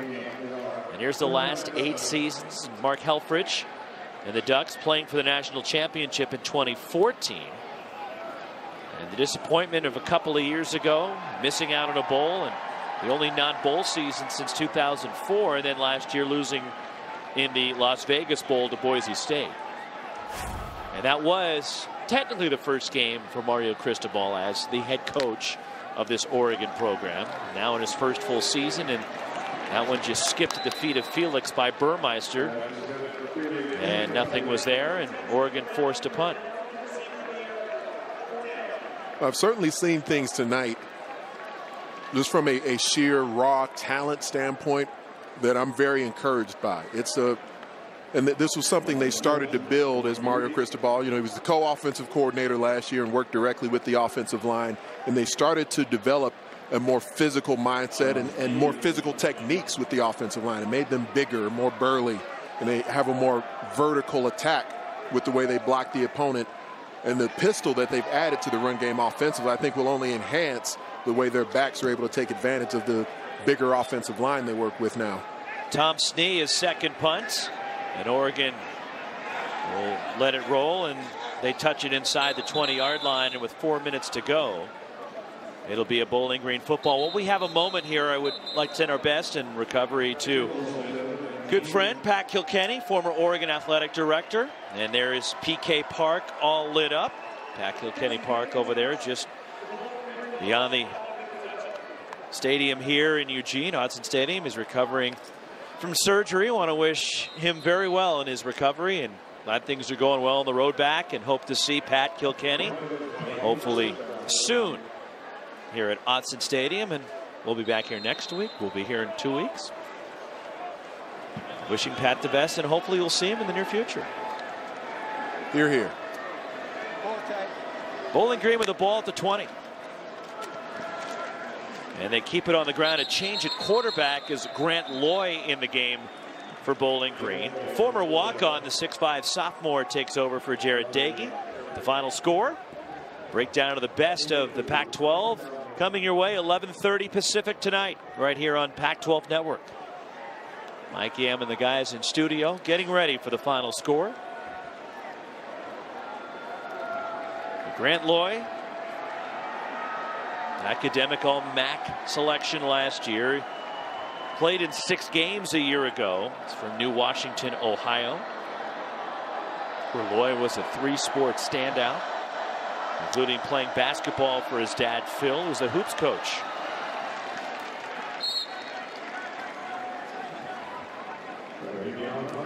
Ravion Hargrove, the ball carrier. You were mentioning the final score. It's been a big Yeah. week for Yammer. Finally hitting the road with the pregame. Let, let him out of his cage. Yeah, that's going to be fun to watch. Mascots are still getting along. That's cool. The Falcon and the Duck. Do you know Mike Yam's coming up later tonight? He is, really? Yeah, 11:30, the final score. Check it out. But did you see him on the road? They let him leave the Bay Area. No, they didn't. And Nigel did too. Yes, Nigel Burton was there also. And Toby Gerhart Nick Aliotti are going to be in studio with Yammer tonight on the final score. Hargrove, another carry, and certainly Nick Aliotti, one of the guys that was synonymous with Oregon football during that Rich Brooks, Mike Bellotti era where there was so much stability, not just with the head coaches, but the staff, like Steve Greatwood, for example, who was the offensive line coach here forever, is now at Cal with Justin Wilcox. Gary Campbell, Don Pellum, longtime assistants. It's been a changeover here with Willie Taggart, now Mario Cristobal. You think of some of the great coaches also that have come and gone, like Chris Petersen, who was here, Jeff Tedford. As Oregon gets the ball back with a minute 51 to go. Justin Herbert, you look at the final numbers and you're going, well, maybe it's not so great. But usually this is what we talk about. We, we just showed PK Park, Anthony. Yeah. About a starting pitcher. Mm-hmm. He, he pitched better than his numbers would indicate. Well, yes, Herbert did throw five touchdowns, but he pitched or he threw the football better than his numbers would indicate. Completely agreed. There, there was a feeling to me similar to remember last year we had USC's opening game and they faced Western Michigan, and Sam Darnold had his receivers out there with a lot of drops, but you could tell Darnold was playing at a really high level, and just some of the inexperienced players, the skill guys on the outside, were working to come towards Sam Darnold's level of execution. And that, that's what tonight feels like me a bit because Justin Herbert really threw the ball well. I mean, you know, not 100% of the time, but he's human. But I, I saw some stellar passing from Justin Herbert, not just throwing the football, but, you know, threading it in there with some touch, with some varying in his velocity and trajectory. His, his skill guys, they're, they're very skilled. They're very talented. Like I mentioned, last season there were a number of drops as well.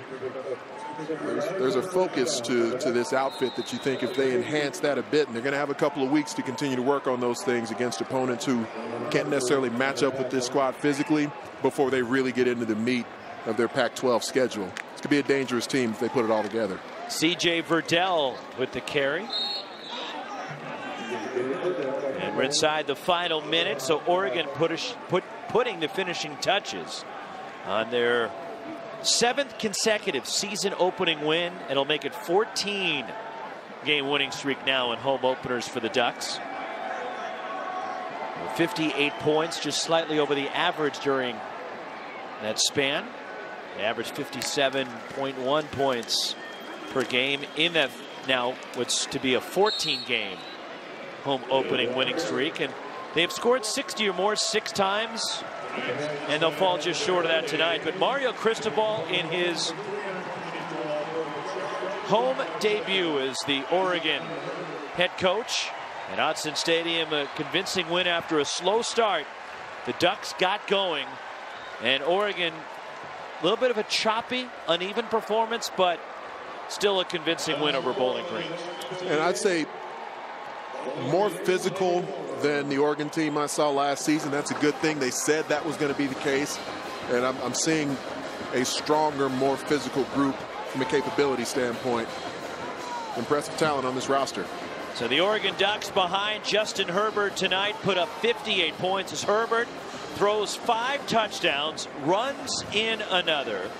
And the Oregon Ducks, who got down 10 0, then erupted for a 30 point second quarter, led at 37 to 10 and cruised to a 58-24 victory in their opener against Bowling Green. For my partner Anthony Herron, Lewis Johnson, our great Pac-12 Network crew, Roxy Bernstein saying so long from Autzen Stadium in Eugene. Coming up now, the post-game report right here on Pac-12 Network.